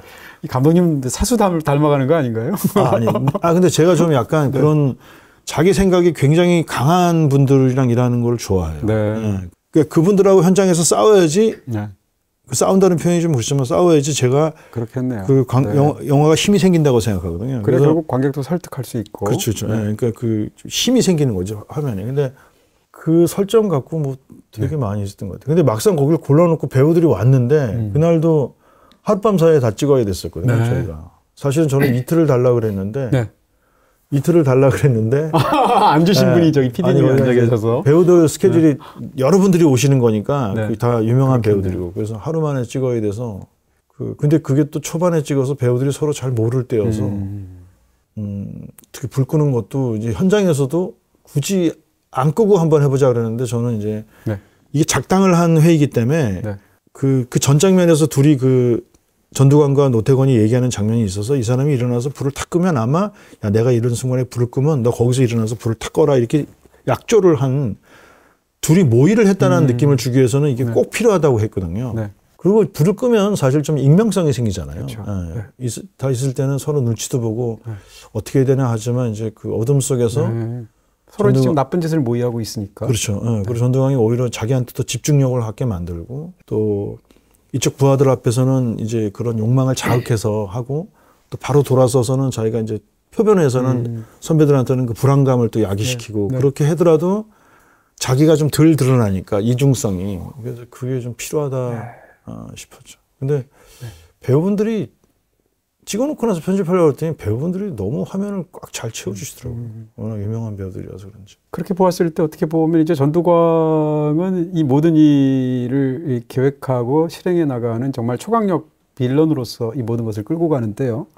근데 사람들 앞에서 본인의 뜻을 그대로 드러내서 끌고 가는 어떤 리더의 역할이지만 그 상황에서 자기가 정말로 마음속으로 그나마 믿을 수 있는 사람은 노태건이지 않습니까? 네. 친구이지 않습니까? 그렇죠. 음. 이 전두광은 결과적으로 자기가 아주 솔직해질 수 있는 공간이 극 중에서 하나밖에 없는 것 같은데 그게 저한테는 화장실처럼 느껴졌습니다. 맞습니다.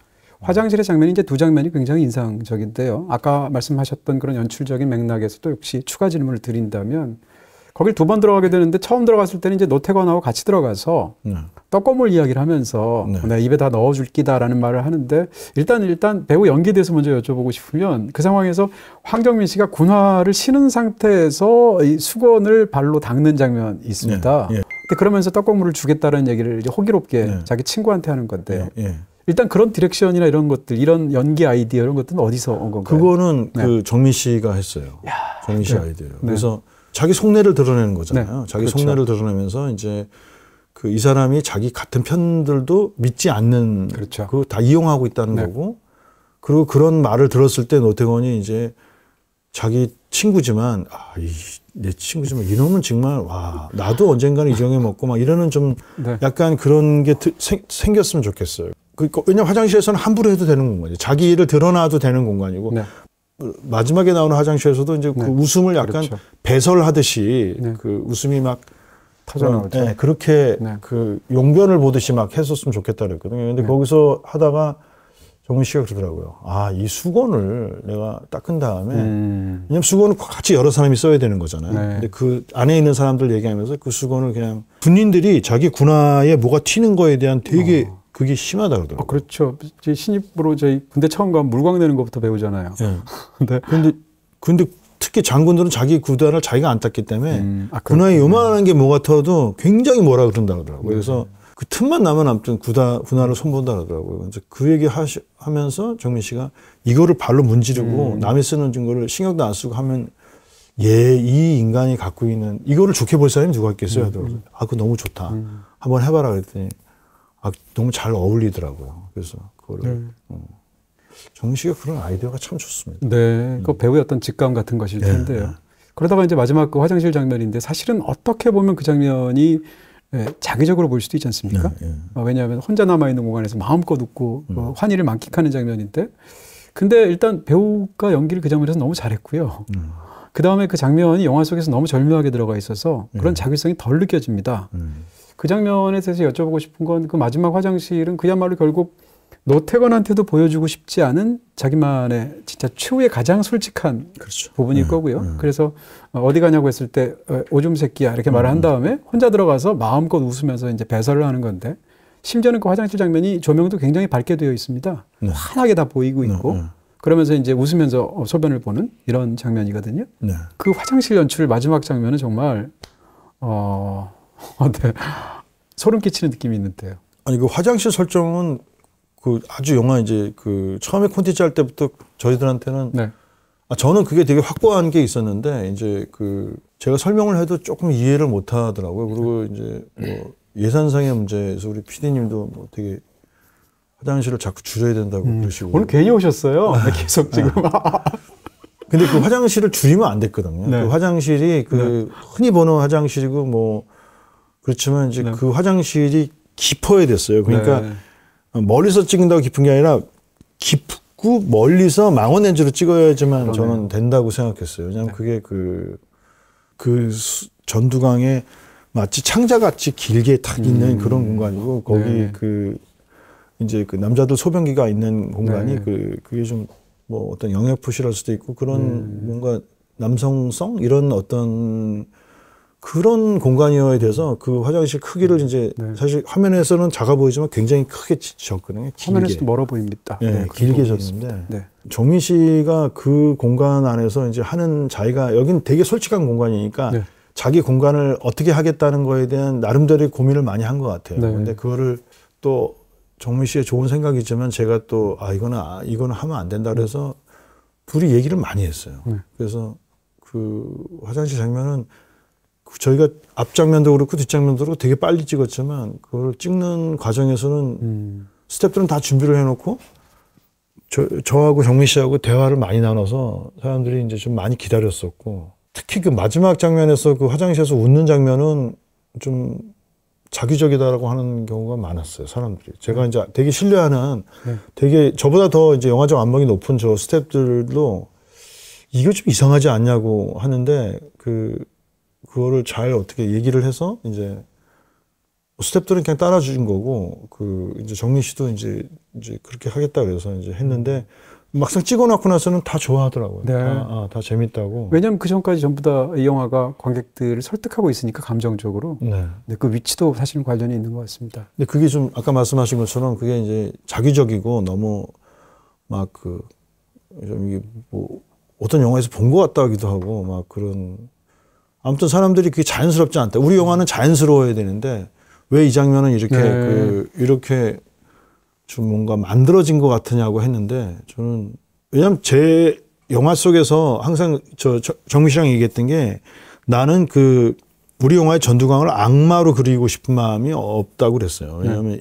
그또 악마를 자기가 연기할 수는 없잖아요. 네. 그래서 이 사람이 되게 욕심이 많고 그런 사람이지만 이 사람이 그런 악마는 아니지만 하지만 우리 영화의 마지막에 도달해서는 이 사람이 자기 욕심이랑 자기의 그런 야망, 그런 탐욕에 의해서 네. 먹혀버린 인간이 됐으면 좋았다고 생각했거든요. 네. 그랬기 때문에 그 사람이 역사 속에서 굉장히 나쁜 짓을 저지를 수밖에 없는. 그러니까 네. 자기의 어떤 그런 인간성, 자기의 어떤 그런 거를 넘어서는 면 그다음부터 인간이 이제 그 제어 능력이 없잖아요. 그렇죠. 그렇죠. 그래서 네.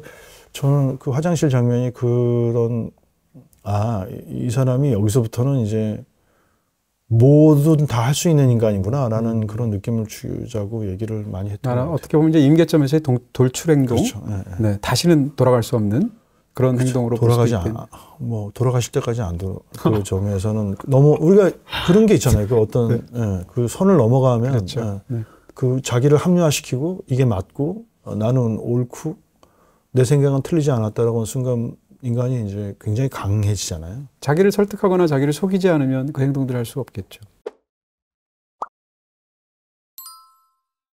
어, 그런 부분들과 관련해서 이제 그 인물들의 어떤 이름 좀 한번 여쭤보고 싶습니다. 네, 네. 사실 이제 이름만 들어도, 음, 아, 이게 모델이 누구냐라는 것을 단번에 알 수 있고요. 심지어는 이제 전두광 같은 경우에는 참 짓궂으시다 생각까지 했습니다. 하필이면 빛날 광자를 쓰셔가지고. 예, 예. 거기다가 이제 극중에 이제 부인으로 나오는 분들은 특수 문장을 통해서 심지어는 하관을 강조하시기도 했잖아요. 예.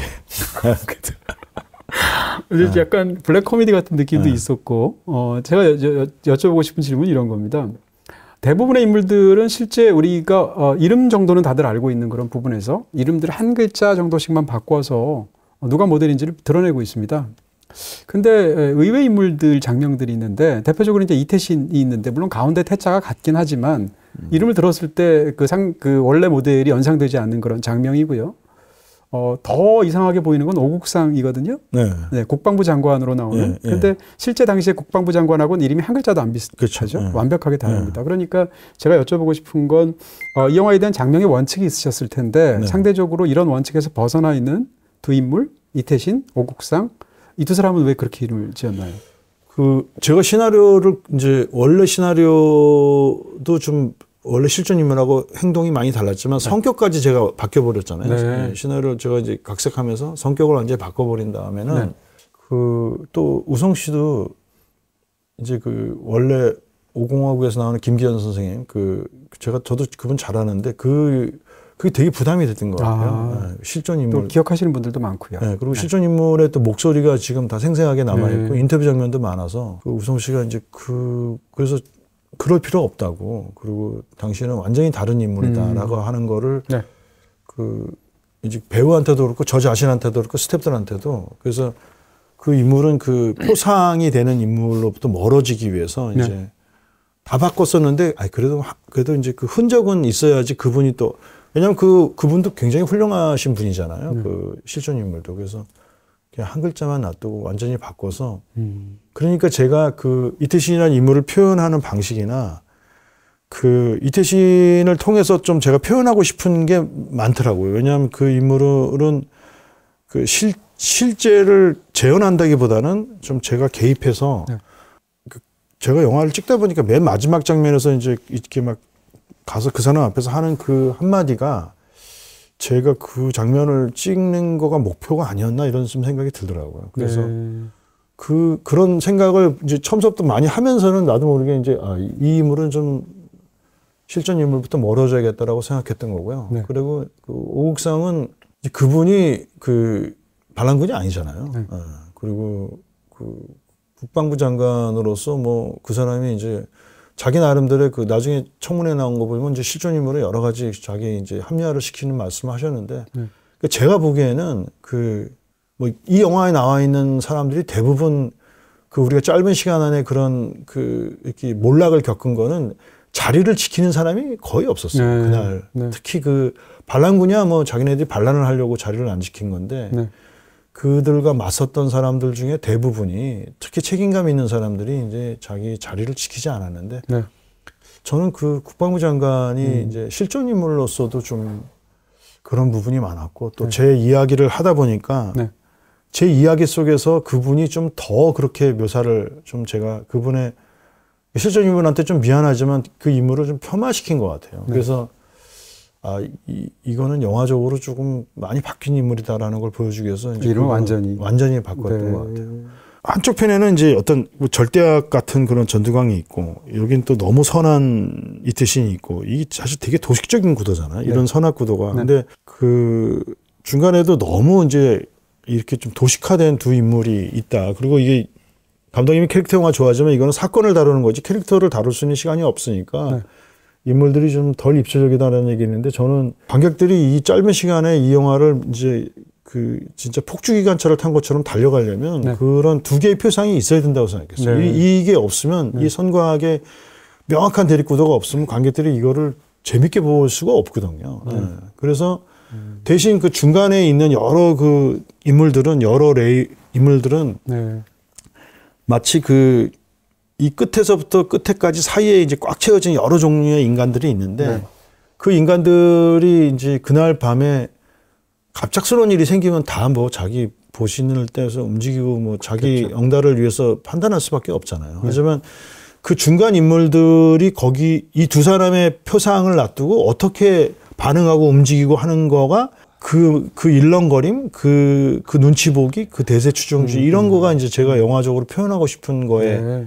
그좀 그 중점적이었는데 네. 그러려 그러면 그런 거에 아주 상징적인 인물이 필요했는데 그거를 네. 제가 이제 그 국방장관 제일 중요한 위치에 있던 왜냐하면 네. 그분이 결정을 내리느냐 안 되느냐가 이 영화의 핵심이잖아요. 네. 국방장관의 제가가 그래서 네. 그분을 좀 제가 너 좀 더 희화시킨 것 같아요. 그래서 그래서 아주 인물을 완전히 바꿨습니다. 네. 네. 결정적인 순간에 이제 좋은 게 좋, 좋은 거 아니냐라고 말할 정도의 사람이라면 그런 네. 캐릭터라면 음. 그 영화에서 어떨까 이런 생각을 사실은 네. 하게 되는데요. 어, 감독님께서 지금 그 오국상이라는 인물을 통해서도 그 어떻게 생각하면 점이지대에 있는 중간에 있는 선과 악이 있다고 쳤을 때 그런 음. 허다한 인물들이 있을 텐데 네. 제가 사실은 이 영화에서 가장 흥미롭게 본 게 바로 그런 측면입니다. 솔직히 얘기하면 전두광이 어떤 인물인지 알 것 같고요. 네. 영화 보기 전에도 네. 어, 이태신도 그런 부분이 없지 않습니다. 네. 근데 이 영화에서 가장 흥미로운 인물들은 오히려 그날 양측의 극단에 있지 않았던 사람들 네. 대표적으로 나중에 전화를 받게 되는 뭐 34단장 네. 혹은 제3야전 사령부 네. 이쪽에 있는 사람들은 처음에는 굉장히 당연히 군인으로서의 어떤 자기의 책무 때문에 그것을 진압해야 된다는 결정을 내리게 되죠. 네. 그러다가 이제 힘의 향배에 따라서 힘이 이리저리 쏠리지 않습니까? 네. 그래서 그것을 번복하게 되고 심지어는 자기가 감청되고 있다는 걸 알고 있으니까 아, 그걸 알고 난 다음에 협박받는 느낌이 들어서 포기한다던가 네. 네. 그래서 결과적으로는 이 중간에 있는 사람들이 어디로 쏠리느냐 이거 이 사람들이 어떻게 생각하면 전두광 쪽으로 쏠리게 되어서 결과적으로 어, 성공하게 된 거잖아요. 네, 12.12 네, 군사 반란이. 그런 측면에서 이 영화는 어, 뭐라고 할까요? 그러니까 역학적인 측면에서 저한테 가장 흥미롭게 보이거든요. 아, 예. 그렇게 해서 단순히 인물들만 움직이는 것이 아니라 힘의 어떤 쏠림과 향배와 뭉침과 이런 것들을 보여준다 그럴까요? 네. 그게 가장 저한테는 사실 흥미로웠습니다. 감사합니다. 그렇게 봐주셔서. 네. 아, 유명하신 네. 영화 제가 이제 좀 주안점으로 잡은 거를 네. 얘기를 해주시니까 감사하네요. 아 정말 그렇게 생각하신 거죠? 그런 게 굉장히 그럼, 중요한 그럼, 연출적인 네, 목표셨던 네. 거죠. 네. 이 영화를 제 영화를 보시면 모든 인물들이 계속 움직이면서 얘기하거든요. 네. 계속 흔들리고. 근데 그게 그런 사람들의 이제 그런 염려와 불안과 걱정과 또 눈치 보기가 이제 그 흔들리는 거죠. 모든 음. 사람이. 그리고 관객들도 그런 그러니까 관객들 자신이 그 전두광이 되거나 이태신이 될 필요는 없다고 생각했어요. 네. 왜냐하면 그건 두 개의 너무 네. 명백한 표상, 표상이기 때문에. 네. 근데 관객들이 이제 이 상황으로 들어가서 그 안에서 인물들의 그 군상들의 음. 움직임을 굉장히 옆에서 같이 그들과 섞여서 보는 듯한 느낌을 주는 게 이제 이 영화의 서술과 그런 촬영의 네. 목표였어요. 네. 그래서 대신 그 어떤 결정이 나오든 간에 관객들한테는 굉장히 좀 납득할 수 있는 아 저, 럴 수밖에 없구나 저, 저러는구나 그리고 그런 게 좋은 의미로든 나쁜 의미로든 다 타당성 있게 다가오기를 바랬는데 네. 다 합리화가 될 수는 있지만 결과적으로 그런 다 그럴 듯한 그럴 듯한 그 이유와 다 묘비명이 있어서 네. 다 그렇게 됐겠지만 그것 때문에 그 짧은 시간에 한국의 군권이 네. 그 순식간에 그 한 줌도 안 되는 사람들한테 네. 무너져 내린 거죠. 네. 그래서 우리 역사가 이제 큰 변곡점을 얻은 거라고 네. 하는 거를 좀 느꼈으면 했습니다. 네. 네. 어, 이제 마지막으로 제가 집중적으로 여쭤보고 싶은 것은 이제 도인물의 구도에 관한 네. 그런 질문을 좀 드리고 싶습니다. 어, 영화는 어쨌건 어, 이 표면적인 대결은 이 양측 끝에 전두광과 이태신이 대결하는 구도로 네. 영화가 짜여져 있고요. 네. 근데 이제 저한테 그 두 인물의 기본적인 상대에 대한 심리 부분에서 굉장히 묘하게 느껴지고 재밌게 느껴지는 게 이태신의 전두광에 관한 태도는 저는 뭐 의문의 여지가 없다고 생각하고요. 네. 영화에서 다 보인다고 생각합니다. 네. 전두광은 과연 이태신을 어떻게 생각했을까 극 중에서 네. 라는 이야기를 드리고 싶은데 묘하게 전두광은 이태신을 훨씬 더 의식하고 있는 것처럼 보이고 저게 저 사람의 열등감일까? 아니면 자기가 안 좋은 일을 하고 있는다는 걸 스스로 자각하고 있기 때문에 명분 있는 사람에 대해서 느끼는 위축감일까? 이런 생각을 갖게 되는데요. 음. 이두 사람이 마주치는 장면이 굉장히 많이 나오지 않습니까? 그러니까 합수부 그 부장으로서 처음 그 수사를 발표 계단 국방부 계단인가요? 거기서 발표하는 장면에서 옆으로 지나가면서 두 사람이 처음 마주치는데 네, 영화에서 네, 지나가죠. 네. 네. 그 이후로 이제 여러 번 영화에서 나오지 않습니까? 그래도 제대로 마주친 건 복도에서 네, 정권 지휘관에서 네. 거기서 한번 마주치고 그 다음에는 맨 마지막에서 예, 예. 그 복도에서 마주치는 장면도 이 그러니까 인물이 아까도 말씀드린 것처럼 이 영화 속에서 이 힘들이 뭉치거나 이렇게 서로 몰려다니거나 이게 너무 흥미롭게 느껴지는데 이태신은 혼자 있고요 복도에서 네. 그다음에 어, 전두광은 혼자서 대화를 하지만 뒤에 무리들이 있잖아요. 네. 저한테는 어떻게 보이냐면 사자하고 하이에나의 왕이 대화하는 것 같이 보입니다. 음. 이태신 씨가 이태신이 이제 사자처럼 보이고 단독으로 음. 그 다음에 하이에나 무리를 이끄는 우두머리처럼 전두광이 보이고 뒤에는 음. 하이에나 떼들이 있는 것이죠. 네. 그런 상상이 들고요. 예. 그리고 나서 상대방을 사실은 회유하려고 했던 거잖아요. 그렇죠. 근데 그것을 거절하게 되고 왜 일가를 예. 하게 되니까 음. 손을 들어서 담배를 가져오라고 하죠. 예. 그러면서 이제 그 장면이 펼쳐지는 예. 건데요. 그 장면에서 회유하고 싶어하는 전두광의 마음도 그렇고 영화를 더 끝이 끝까지 마지막까지 보고 나면. 음. 전두광은 이태신에 대해서 뭐라고 할까요? 약간 음, 존중? 어떤 의미에서는 뭐 존경? 혹은 저 사람에 대한 위축감이나 열등감 음. 이런 걸 느끼는 것처럼 보입니다. 어떻게 상상하시고 만드셨는지. 좀 그 지금 말씀하신 대로 전두광은 그 강력한 사람이지만 사실은 그 강력함이라는 거는 상대를 자기 편으로 만드는 어떤 능력이잖아요. 네. 네. 근데 그 전두광은 사실 이 영화 속에서 그 앞에 정상호 총장, 그 이성민 씨 역할 했던 역할도 사실은 돈으로 회유하려고 했고, 예. 그 다음에 그것도 그거 실패했죠. 그리고 이제 그 이태신도 그 자기 편으로 만들려고 노력을 했는데 그 사람한테 오히려 좀 면박을 당하잖아요. 예.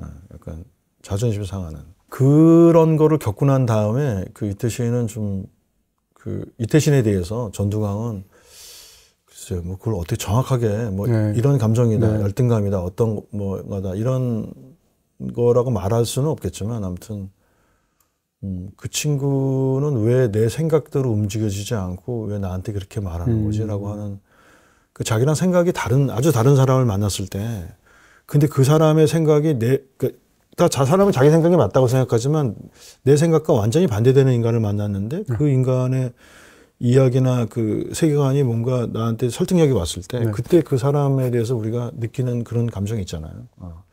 왜 이, 이, 이야기는 얘는 이런 바보 같은 생각하지? 근데 어 근데 이 사람은 이 사람이 갖고 있는 생각의 어떤 방식 또 세계관은 어 설득력이 있네라고 네. 느낄 때 그런 좀 느낌을 주고 싶었어요. 네. 음. 그러니까 그 사람 뜻대로 되지 않는 사람이 존재한다는 거를 좀 보여주고 싶었고 네. 그래서 어, 이태 씨는 물론 이태 씨는 이제 그런 외로운 사람이고 어떻게 보면 좀 사교성도 없고 또 그런 상황 판단 능력이 어떻게 보면 답답한 인간일 수 있는데 네. 그런 사람이 있었다는 게 너무 다행인 거죠. 다행이고 근사한 네. 것 같아요. 네. 네. 자기 자리를 지켜주는 사람들이 그, 러니까 네. 어려운 시기에 혼자서 외롭게 소를 키워주는 사람이 네. 필요하잖아요. 네. 그 그런 인물에 대한 어떤 경외심이 음. 있지 않았을까 싶어요. 그걸 뭐 그렇게 구체적으로 말하진 않았는데. 그 점에서 사실 영화적인 비중은 완전히 다르지만 저는 사실은 타이타닉에서 타이타닉호가 침몰할 때 실제로도 그랬었죠. 영화에서도 그렇지만 그렇죠. 음. 마지막 순간까지 연주를 했던. 아, 사람들 아, 있잖아요. 네. 그 사람들의 직업 윤리와 이태신의 직업 윤리가 같다는 생각을 했습니다. 네. 그런 측면에서도 좀 어, 찡한 부분이 있었고요. 네, 맞습니다. 사실 이제 저는 이제 이 영화에 매혹된 사람으로서 어, 그럼에도 불구하고 남는 어떤 질, 의문이 하나 있습니다. 그것이 이제 마지막 영화의 클라이맥스를 어, 실제로 이제 벌어지지 않은 것을 영화적으로 극한한 부분이죠. 이태신 장군이 이제 단독으로 마주하는 장면이지 않습니까? 그 장면이 네. 이제 영화에서 꼭 필요한 장면처럼 보이고요. 실제로 네. 이제 굉장히 영웅적인 행동을 하죠. 어, 그리고 이제 초의 순간에 일가를 하지 않습니까? 일가를 하는데 그 일가라는 내용이 일단 어, 대한민국 군인으로서나 네. 한 인간으로서나 너는 네. 실패다라고 말을 네. 자격이 없다. 선언을 음. 하죠. 네. 거기에 대해서 전두광은 대답을 하지 않습니다. 그리고 돌아서서 어, 다른 사람이 승리했다고 끝났다고 얘기하니까 웃지 말라고 얘기하고 네. 걸어가고 네. 화장실에서 혼자 웃죠. 그러니까 제가 궁금한 거는 이런 겁니다. 어, 너는 대한민국 군인으로서나 인간으로서 실패작이다라고 말하는 건 사실은 영화 안의 목소리가 아니라 영화 밖의 목소리처럼 느껴집니다. 네. 그런 것 같습니다. 꼭 그런 장면을 넣고 싶은 거죠. 예. 어떤 감독님의 예. 간절함이나 예. 어떤 분노 같은 것 때문에. 예. 그리고 전두광은 거기에 대해서 아무런 항변을 하지 않고 돌아서는데요. 예. 거기에 대한 좀 말씀을 듣고 싶습니다. 원래 시나리오에서는 거기 이제 굉장히 일장 연설하는 시나리오도 써 있었고 네. 되게 잘 쓴 대사지만 그 제가 고친 다음에도 그 이태신이 마지막에 어떤 진짜 사나이로서 어떤 남자로서 또 군인 군인은 무인이니까 네. 그런 어떤 무력의 어떤 어떤 몸부림 또 네. 그런 네. 응징을 해야 되지 않냐라고 얘기는 했는데 저는 그 사람들이 크게 동의해 주진 않았지만 네. 마지막 어, 제 마지막에는 우성 씨가 자기가 생각을 많이 해봤는데 이 대사가 정말 좋다고 그러더라고요. 네. 그래서 그래서 우성 씨한테 감사하게 생각합니다. 네. 근데 아 그러니까 저는 제 영화 속의 그 상황이긴 하지만 이제 어쨌든 그게 저 영화 속에서 79년 12월 12일이잖아요. 네. 13일 새벽이죠. 그때 그 인물한테 그 이태신이 다가가서 뭐 이태신이든 누구든 그 말을 해주고 싶었어요. 그 사람한테 가장 좀 그 타격감이 있는 말을 좀 해주고 네. 싶었어요. 그래서 그거 갖고 생각을 해보니까 뭐 욕설을 하고 일 수도 있고 뭐 막 주먹질을 할 수도 있고 그렇겠지만 얼마 어떤 얘기를 해줘야지 그 사람한테 가장 그, 그 실존 인물하고 상관없이 그러니까 그럴 때 아 그 사람의 존재 자체를 좀 음. 부정해하는 말을 하면 어떨까. 제가 만약에 그런 시점 또는 제가 현재 시점에서 누군가가 나한테 다가와서 너는 참 감독으로도 그렇고 뭐 인간으로도 자격 없다 그러면 어, 진짜 모르겠습니다. 제가 하늘이 무너져 내릴 것 같아요. 네. 네. 그러니까 그, 그 친구, 실제 인물이 그런 거를 느끼는 인물이라고 생각하지는 않았어요. 그 사람은 네.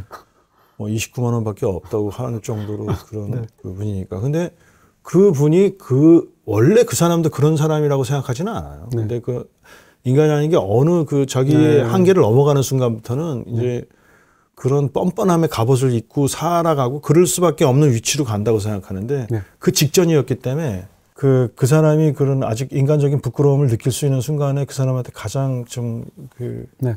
마음의 상처가 될 수 있는 얘기를 해 주고 싶었어요. 네. 네. 그게 이제 제 건에는 그렇게 감독님 마음 같은 거요. 대사가 좀 너무 단순하고 후적하고. 네. 아니 그건 아닌데 저는 이런 생각했습니다. 사실은 네. 이제 영화를 보면서 묘한 감정. 영화를 보고 나면 사실은 네, 들끓게 되잖아요. 네. 마음 속이 다들 그래서 사실은 이 영화를 복잡하게 생각하시고 또 좋아하시는 게 아닌가 싶기도 한데.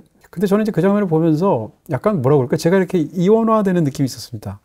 대한민국 국민으로서는 그 장면에서 그렇게 일갈해 준 게 너무 좋게 느껴졌고요. 음. 왜냐하면 그렇게 역사에서는 실제로 그렇게 하지 못했잖아요. 음.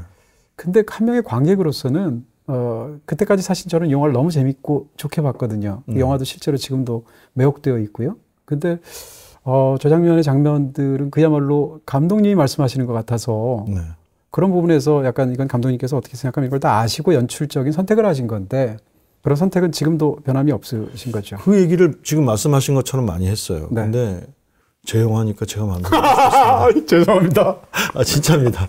아, 아스라드도 마지막에 네. 왜 네. 이렇게 찍냐고 그랬는데 네. 그, 제가 그랬어요 스태프들한테 네. 배우들한테 이거 내 영화거든. 네. 그러니까 네. 그냥 나 따라줘 이렇게 했는데 어, 이 네. 마지막 그 이제 넘어가서 네.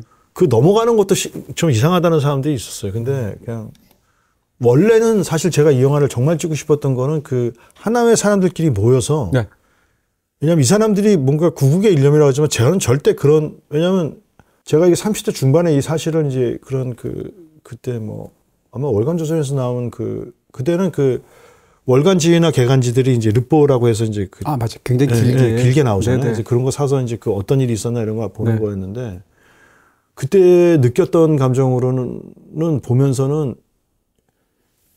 이 사람들끼리 모여 있는서 지들끼리 한 거는 이게 아니라고 생각했어요. 음. 근데 그 다음에 제가 이제 이걸 준비하면서 오공전사라고 그 반란군식이죠. 그 저, 정권을 잡은 사람들이 만들어낸 대단한 기록이 있어요. 그 기록을 제가 많이 참조를 했는데 네.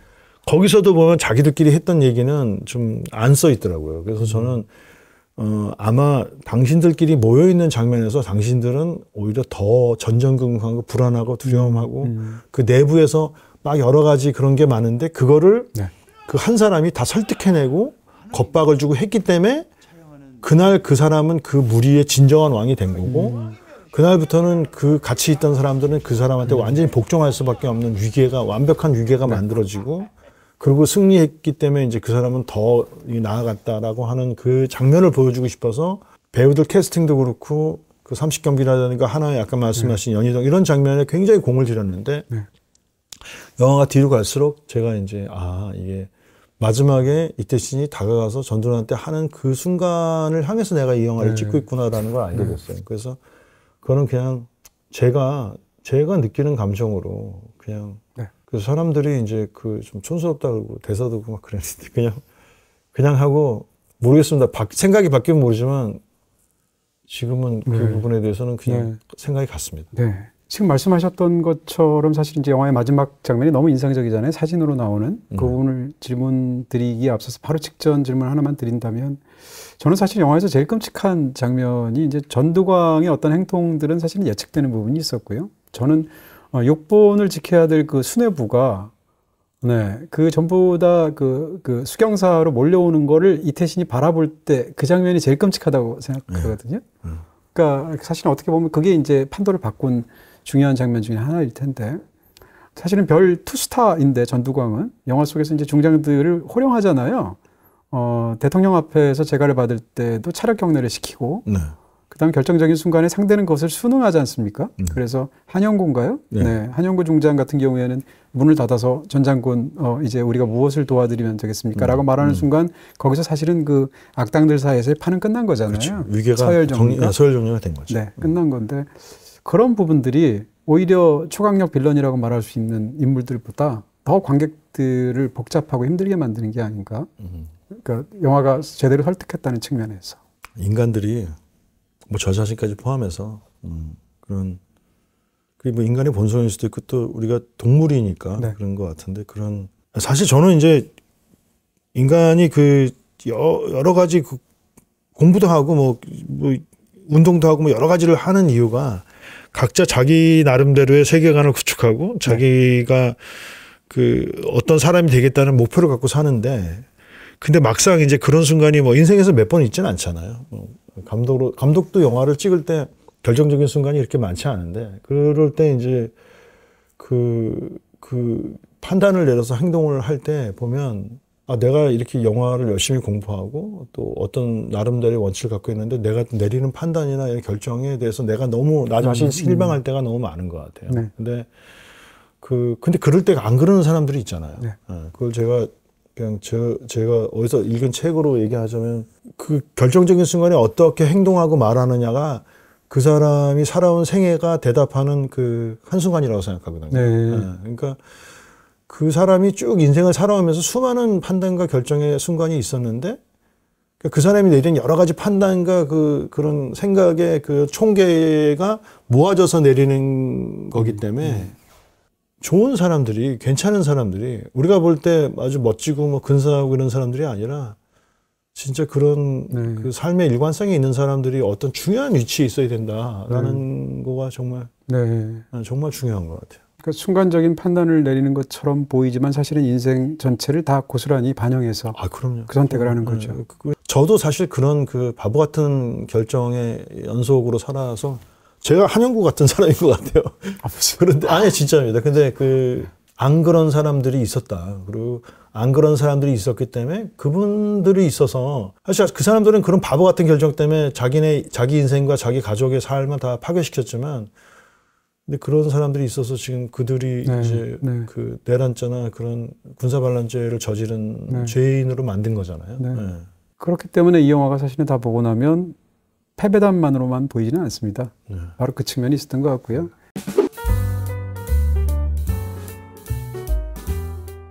마지막 질문 드리기로 하겠습니다. 사실은 한국 영화에서 마지막 장면들을 더군다나 실화를 이야기 소재로 해서 영화를 만들었을 경우에 사진으로 끝내는 경우가 굉장히 많거든요. 네. 그래서 사실은 이제 사진으로 끝내는 영화들에 대한 약간 저항감이 저한테는 있었습니다. 영화를 이제 많이 본 입장에서. 음. 근데 이 영화에서의 그 마지막 장면은 저 이상의 사진으로 끝내는 마지막 장면이 있을 수 있을까라는 생각을 했고요. 사진을 두 번 보여주지 않습니까? 네. 한 번은 영화 속에 연기했던 배우들의 그 사진을 보여주고, 네. 그 다음에 이제 최후의 실제 보안사 앞에서 찍었던 그 인물들의 에, 사진들을 이제 보여주게 되는데요. 일단 한두 가지 질문을 거기에 대해서 드린다면, 어, 마지막 순간에 사진으로 끝내면서 그것만 보여주신 게 아니라 한 명한 한 명을 마치 역사의 기록을 박듯이 이 영화의 자막은 저는 굉장히 초강력 자막이라고 생각하는데, 어, 그 사람들의 이후의 경력만 보였음에도 불구하고 약 마치 무슨 범죄 사실을 우리가 보는 것 같은 그런 강렬함을 받지 않습니까? 그렇게 한 명 한 명 역사 앞에서 호명하는 느낌이라고 그럴까요? 어, 그렇게 끝내신 거에 대한 질문을 먼저 드리고요. 그리고 마지막 사진에 대한 질문을 드리겠습니다. 마지막 사진은 원래 이제 계획하지 않았던 거고요. 네. 그 사람들이 이제 배역들이 같이 모여서 그 기념 사진을 찍고 네. 보안사에서 앞에서 그리고 그 사람들 한 명한 한 명을 그렇게 이제 그 기록을 남기는 거는 맨 처음 시나리오에 그렇게 돼 있었어요. 네. 그런데 이제 그 다음에 시나리오를 여러 번 바꿔서 이렇게도 끝내고 막 했는데 제가 영화를 찍다 보니까 찍는 중간쯤에 이렇게 생각해 보니까 아 그게 제일 좋더라고요. 음, 네. 왜냐하면 음 제가 곰곰이 생각해 보니까 이 영화 제가 이제 제 깐에는 제가 이 12, 12에 대해서 되게 많이 아는 사람이고 남들보다 특별히 좀, 네.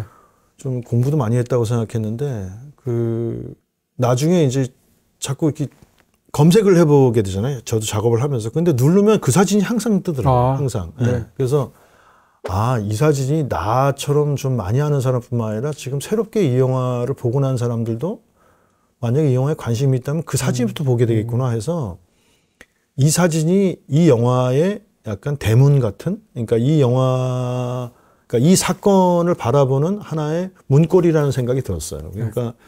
왜냐면 만든 사람도 그 문고리를 자꾸 열고 들어갔다 나왔다 했기 때문에 네. 이 영화는 저의 이제 상상력과 저의 어떤 영화적 표현으로 좀 그좀 그 좀 달라진 부분이 있지만 네. 사실은 저는 이 영화를 이 문고리를 열고 들어가서 만들었습니다라고 하는 대로 좀 돌아오고 싶었어요. 네. 네. 네. 그래서 우리 인물들도 그 장면을 찍고 그 실제 사건이랑 겹쳐서 이렇게 그 만약에 영화가 이제 관심이 있으시면 그 문을 한번 열어보시겠습니다라고 하는 음. 청유형으로 넣은 거고 그 다음에 그 인물들을 뭐 사람들은 박제화 시켰다고 하는데 그게 그분들이 이렇게 이제 실제 영상에 나와서 사진 찍는 그게 있어요. 그 영상이 실제 영상이 아마 아, 동영상도 있군요. 예, 동영상이 아, 그 네. 인터넷에 있는데 네. 그걸 보면 진짜 큰 일을 잘 치르고 너무 행복하게 나와서 이제 그거를 네. 굉장히 화기애애하게 네. 마치 그 동창들이 뭐 소풍 와서 찍는 것처럼 찍거든요. 네. 아 그게 좀 속상했어요, 되게. 네. 그래서 네. 그 사람들은 승리의 기록이고 그리고 그 승리한 날로부터 그들에게는 굉장히 그 아름다운 세상이 펼쳐졌죠. 네. 그 돌아가실 때까지. 그래서 그분들이 그 자랑 삼아 찍은 사진에다가 네. 그분들의 자랑스러운 삶의 기록을 그냥 다 보여드리고 싶었어요. 네. 근데 그게 네. 당신들은 굉장히 기념 사진이고 또 그들의 삶에 대해서 한 번도 그 뭐 반성이나 부끄러워하지 않고 너무 근사한 삶을 살았다고 하는 그 삶을 그냥 네. 그대로 보여주고 싶었어요. 네. 그게 과연 그런지에 대해서. 음. 그래서 그 거기에는 제가 일, 어떤 뭐 거를 훼손하자 그 장면이 갖고 있는 그거를 그냥 그대로 재현하면 오히려 관객분들이 더 네. 어, 스스로 좀 평가하시지 않을까 이런 네. 생각이 들었습니다. 그 이력이 뭐 경문처럼 저한테는 사실은 보이기도 하고요. 음. 강렬함이 정말 굉장했습니다. 그러고 나서 이제 실제 사진을 보여주면서 끝나지 않습니까? 실제 사진은 실제 사진을 그대로 보여주신 건가요? 아니면 리터치를 해서 좀 흐리게 보여주신 리터치를 건가요? 보기에는 그게 저 네. 그냥 쓰려고 그랬더니 그 저희 이제 관련 변호인들이 그 아, 법률적인 문제로? 예, 그거 네. 잘 보이면 안 된다 그러더라고요. 음. 그 사진은 저희가 이제 클리어를 얻었는데 네. 그분들이 다 왜냐하면 거기 또 하나의 우리 영화에 다루지 않은 분들도 있었거든요. 네. 중, 그, 그 사진에는 나오지만 이제 음. 사실은 그렇게 적극적인 역할을 하지 예, 그, 않았던? 음, 뭐 역사에 그런 그 나쁜 짓을 하지 않으신 분들도 네. 있어요. 그래서 그게 어떤 분은 그렇지냐 아니냐를 하기보다는 근데 음. 그두 분이 이제 핵심 그 대통령은 그거는 괜찮다 그러더라고요. 근데 세월이 경과됐으니까 네. 그 사진은 그 세월처럼 세월을 머금고 탈색이 되고 네. 이제 나, 들어가는데도 그 두 분 얼굴은 좀 음. 좀그 사진의 그런 에서 좀 또렷이 보이게 이렇게 좀 했습니다. 그랬군요. 네. 네. 음. 자, 이렇게 해서 저는 사실은 뭐 솔직히 얘기하면 한 시간도 더 여쭤보고 싶은 생각이 있는데, 음. 네, 어, 또 이 프로그램에 한계가 있고요. 러닝 타임이라든지 이런 부분에서 네. 오늘은 최대한 편집 없이 이렇게 좀 감독님 하신 말씀 그대로 전달하고 싶은 그런 간절한 마음이 생깁니다. 장황하게 얘기해서 죄송합니다. 아닙니다. 제가 뭐 사실은 정 네, 이런 정돈된 언어로 얘기했어야 되는데 저는 사실 그동안 왜 인터뷰를 어, 그렇게 안 하셨던 걸까라는 생각이 들 정도였던 심정이 됐는데요. 이 영화를 이제 한 편의 영화를 마치고 나면 굉장히 이제 상대적으로 아 이렇게 감독님만 알 수 있는 좀 걸리는 부분들도 있을 거고 근데 그런 걸 여쭤보고 싶은 게 아니라 마지막 질문으로 이제 영화를 다 찍고 나서 지금 벌써 이제 시간도 많이 지났고 또 천만 명 가까운 관객들이 봤고요. 내가 다른 건 몰라도 이 영화에서 정말 개인적으로 이것은 한 것 같다. 이런 어떤 뿌듯함이 있으실 것 같아요. 그런 게 가장 그렇게 자부하시는 게 어떤 것인지. 뿌듯한 거 없는데 아이, 리가요. 네. 아, 진짜 네. 아, 작년에도 근데 괜찮고 영화가 너무 잘 들어서 네. 그게 좀 영화를 많이 보여주는 게 목표였어요. 그러니까 네. 제가 그 전에 감비란 영화 할 때는 네. 그거 천만 하고 싶었거든요. 근데 그 영화를 너무 이제 감독으로서 너무 잘 못한 것 같아요. 그리고 막 제 의견을 넣으려고 너무 무리하게 하다가 다 빠꾸 먹고 막 이렇게 막 아무튼 그 아주 너무 좀 지난한 과정이 있었는데 그 다음에 이제 아수라 할 때는 그냥 아 이제 영화계를 그만 떠나야 될 것 같아서 지금 완전히 제가 하고 싶은 대로 아무 누, 어느 누구의 조언도 안 듣고 찍었는데 그 영화 되게 편협해지더라고요. 근데 이번 영화는 이거는 내 근데 자기 맘대로 영화를 완전히 내 맘대로 했을 때 그 아수라 했을 때 그 쾌감이 너무 크더라고요. 네. 근데 이 영화는 그렇게 하면 안 될 것 같았어요. 네. 왜냐하면 이 영화는 그런 영화가 아니잖아요. 그래서 이 영화는 그 하지만 또 사람들의 얘기를 막 다 영화 속에 집어넣지만 그런 감기 때처럼 그런 요행심으로 막 꾸겨 넣듯이 넣어서는 안 된다고 생각해서 네. 아무튼 만드는 과정은 너무 고민을 많이 하고 회의도 많이 하고 막 그런 게 있었는데 그래서 영화가 그 이렇게 표현해도 되나? 이런 장면이 괜찮나? 이런 거에 연속이었던 것 같아요. 네. 영화 자체가 편집할 때도 그렇고 그래서 지금도 이 서울의 봄이라는 영화에 대해서는 제가 그 과연 이 영화를 잘 만들었나? 솔직하게요. 네. 그리고 또 더 잘 만들 수 있지 않았을까라는 막연한 그런 생각이 되게 많아요. 네. 그래서 좀 이게 좀 이런 좀 어지러운 그런 시점이 지나가고 제가 영화 완성된 다음엔 제 영화를 절대 보지 않는데 이 영화는 한 번쯤 보고 싶어요 다시 그래서 뭐 한 6개월이나 1년 뒤에 한 번 보고 나서 이제 제가 저 이 영화를 저 마음속으로 좀 정리를 하고 그리고 네. 그때는 아마 뭐 지금도 알지만 그 영화의 좀 그 부끄러운 부분이나 잘 못한 부분이 훨씬 잘 보일 것 같고 아, 아 하나는 있다 그 네. 생각했던 것보다 흥행이 훨씬 잘 되니까 네. 이 분들이 영화를 보시고 특히 젊은 분들이 이제 이 12.12를 찾아보신다고 아. 그러더라고요. 그거는 그건 정말 행복해요. 그건 창- 창작자로서 감독으로서 네. 너무 기분이 좋습니다. 그 부분에 대해서는. 특히 젊은 관객들이 그렇죠. 예. 네. 이게 역사는 사실은 선생님들이 가르쳐 주는 건 재미없잖아요. 근데 자기가 흥미를 느껴서 그걸 막 직접. 찾아보면 네. 그러면 재밌잖아요. 예. 이 영화가 약간 그런 역할을 했다 그러면 뭐 그거는 뭐 그거를 너무 간절히 원했기 때문에 그거는 좀 그거는 좀 행복한 부분입니다. 네. 어. 아, 감독님 오늘 말씀 너무 감사합니다. 장시간에 걸쳐서 너무 또 이렇게 자세히 설명해 주시고 저한테는 너무 많이 공부도 되고 그런 좋은 시간이었습니다. 오늘 인터뷰 끝나셨는데 뭐 어떠셨습니까? 오늘 마지막 인터뷰를 이제 종지부를 찍으셨는데 딴 데 가서 어디 하시면 안 되는 거예요, 이제. 아, 이제 안 합니다. 편하게 해주시고 네. 또 질문이 되게 좀 그 제가 대답하고 싶었던 얘기들 해주셔갖고 네. 인터뷰라는 생각을 안 하고 말한 부분도 좀 있는 것 같아요. 네. 그래서 감사합니다. 네. 감독님 너무 감사드리고요. 또 배웠으면 좋겠습니다. 아유, 감사합니다. 감사합니다. 네. 고맙습니다. 네, 오늘 김상수 감독님과의 인터뷰에서 거론되었던 영화들이죠. 정호성 씨와 함께했던 세 편의 작품이 있죠. 초기작, 그러니까 비트, 태양은 없다, 그리고 무사까지 세 편의 영화 여러분들께 추천드리겠습니다. BTV에서 보실 수 있습니다. 영상 재밌게 보셨나요?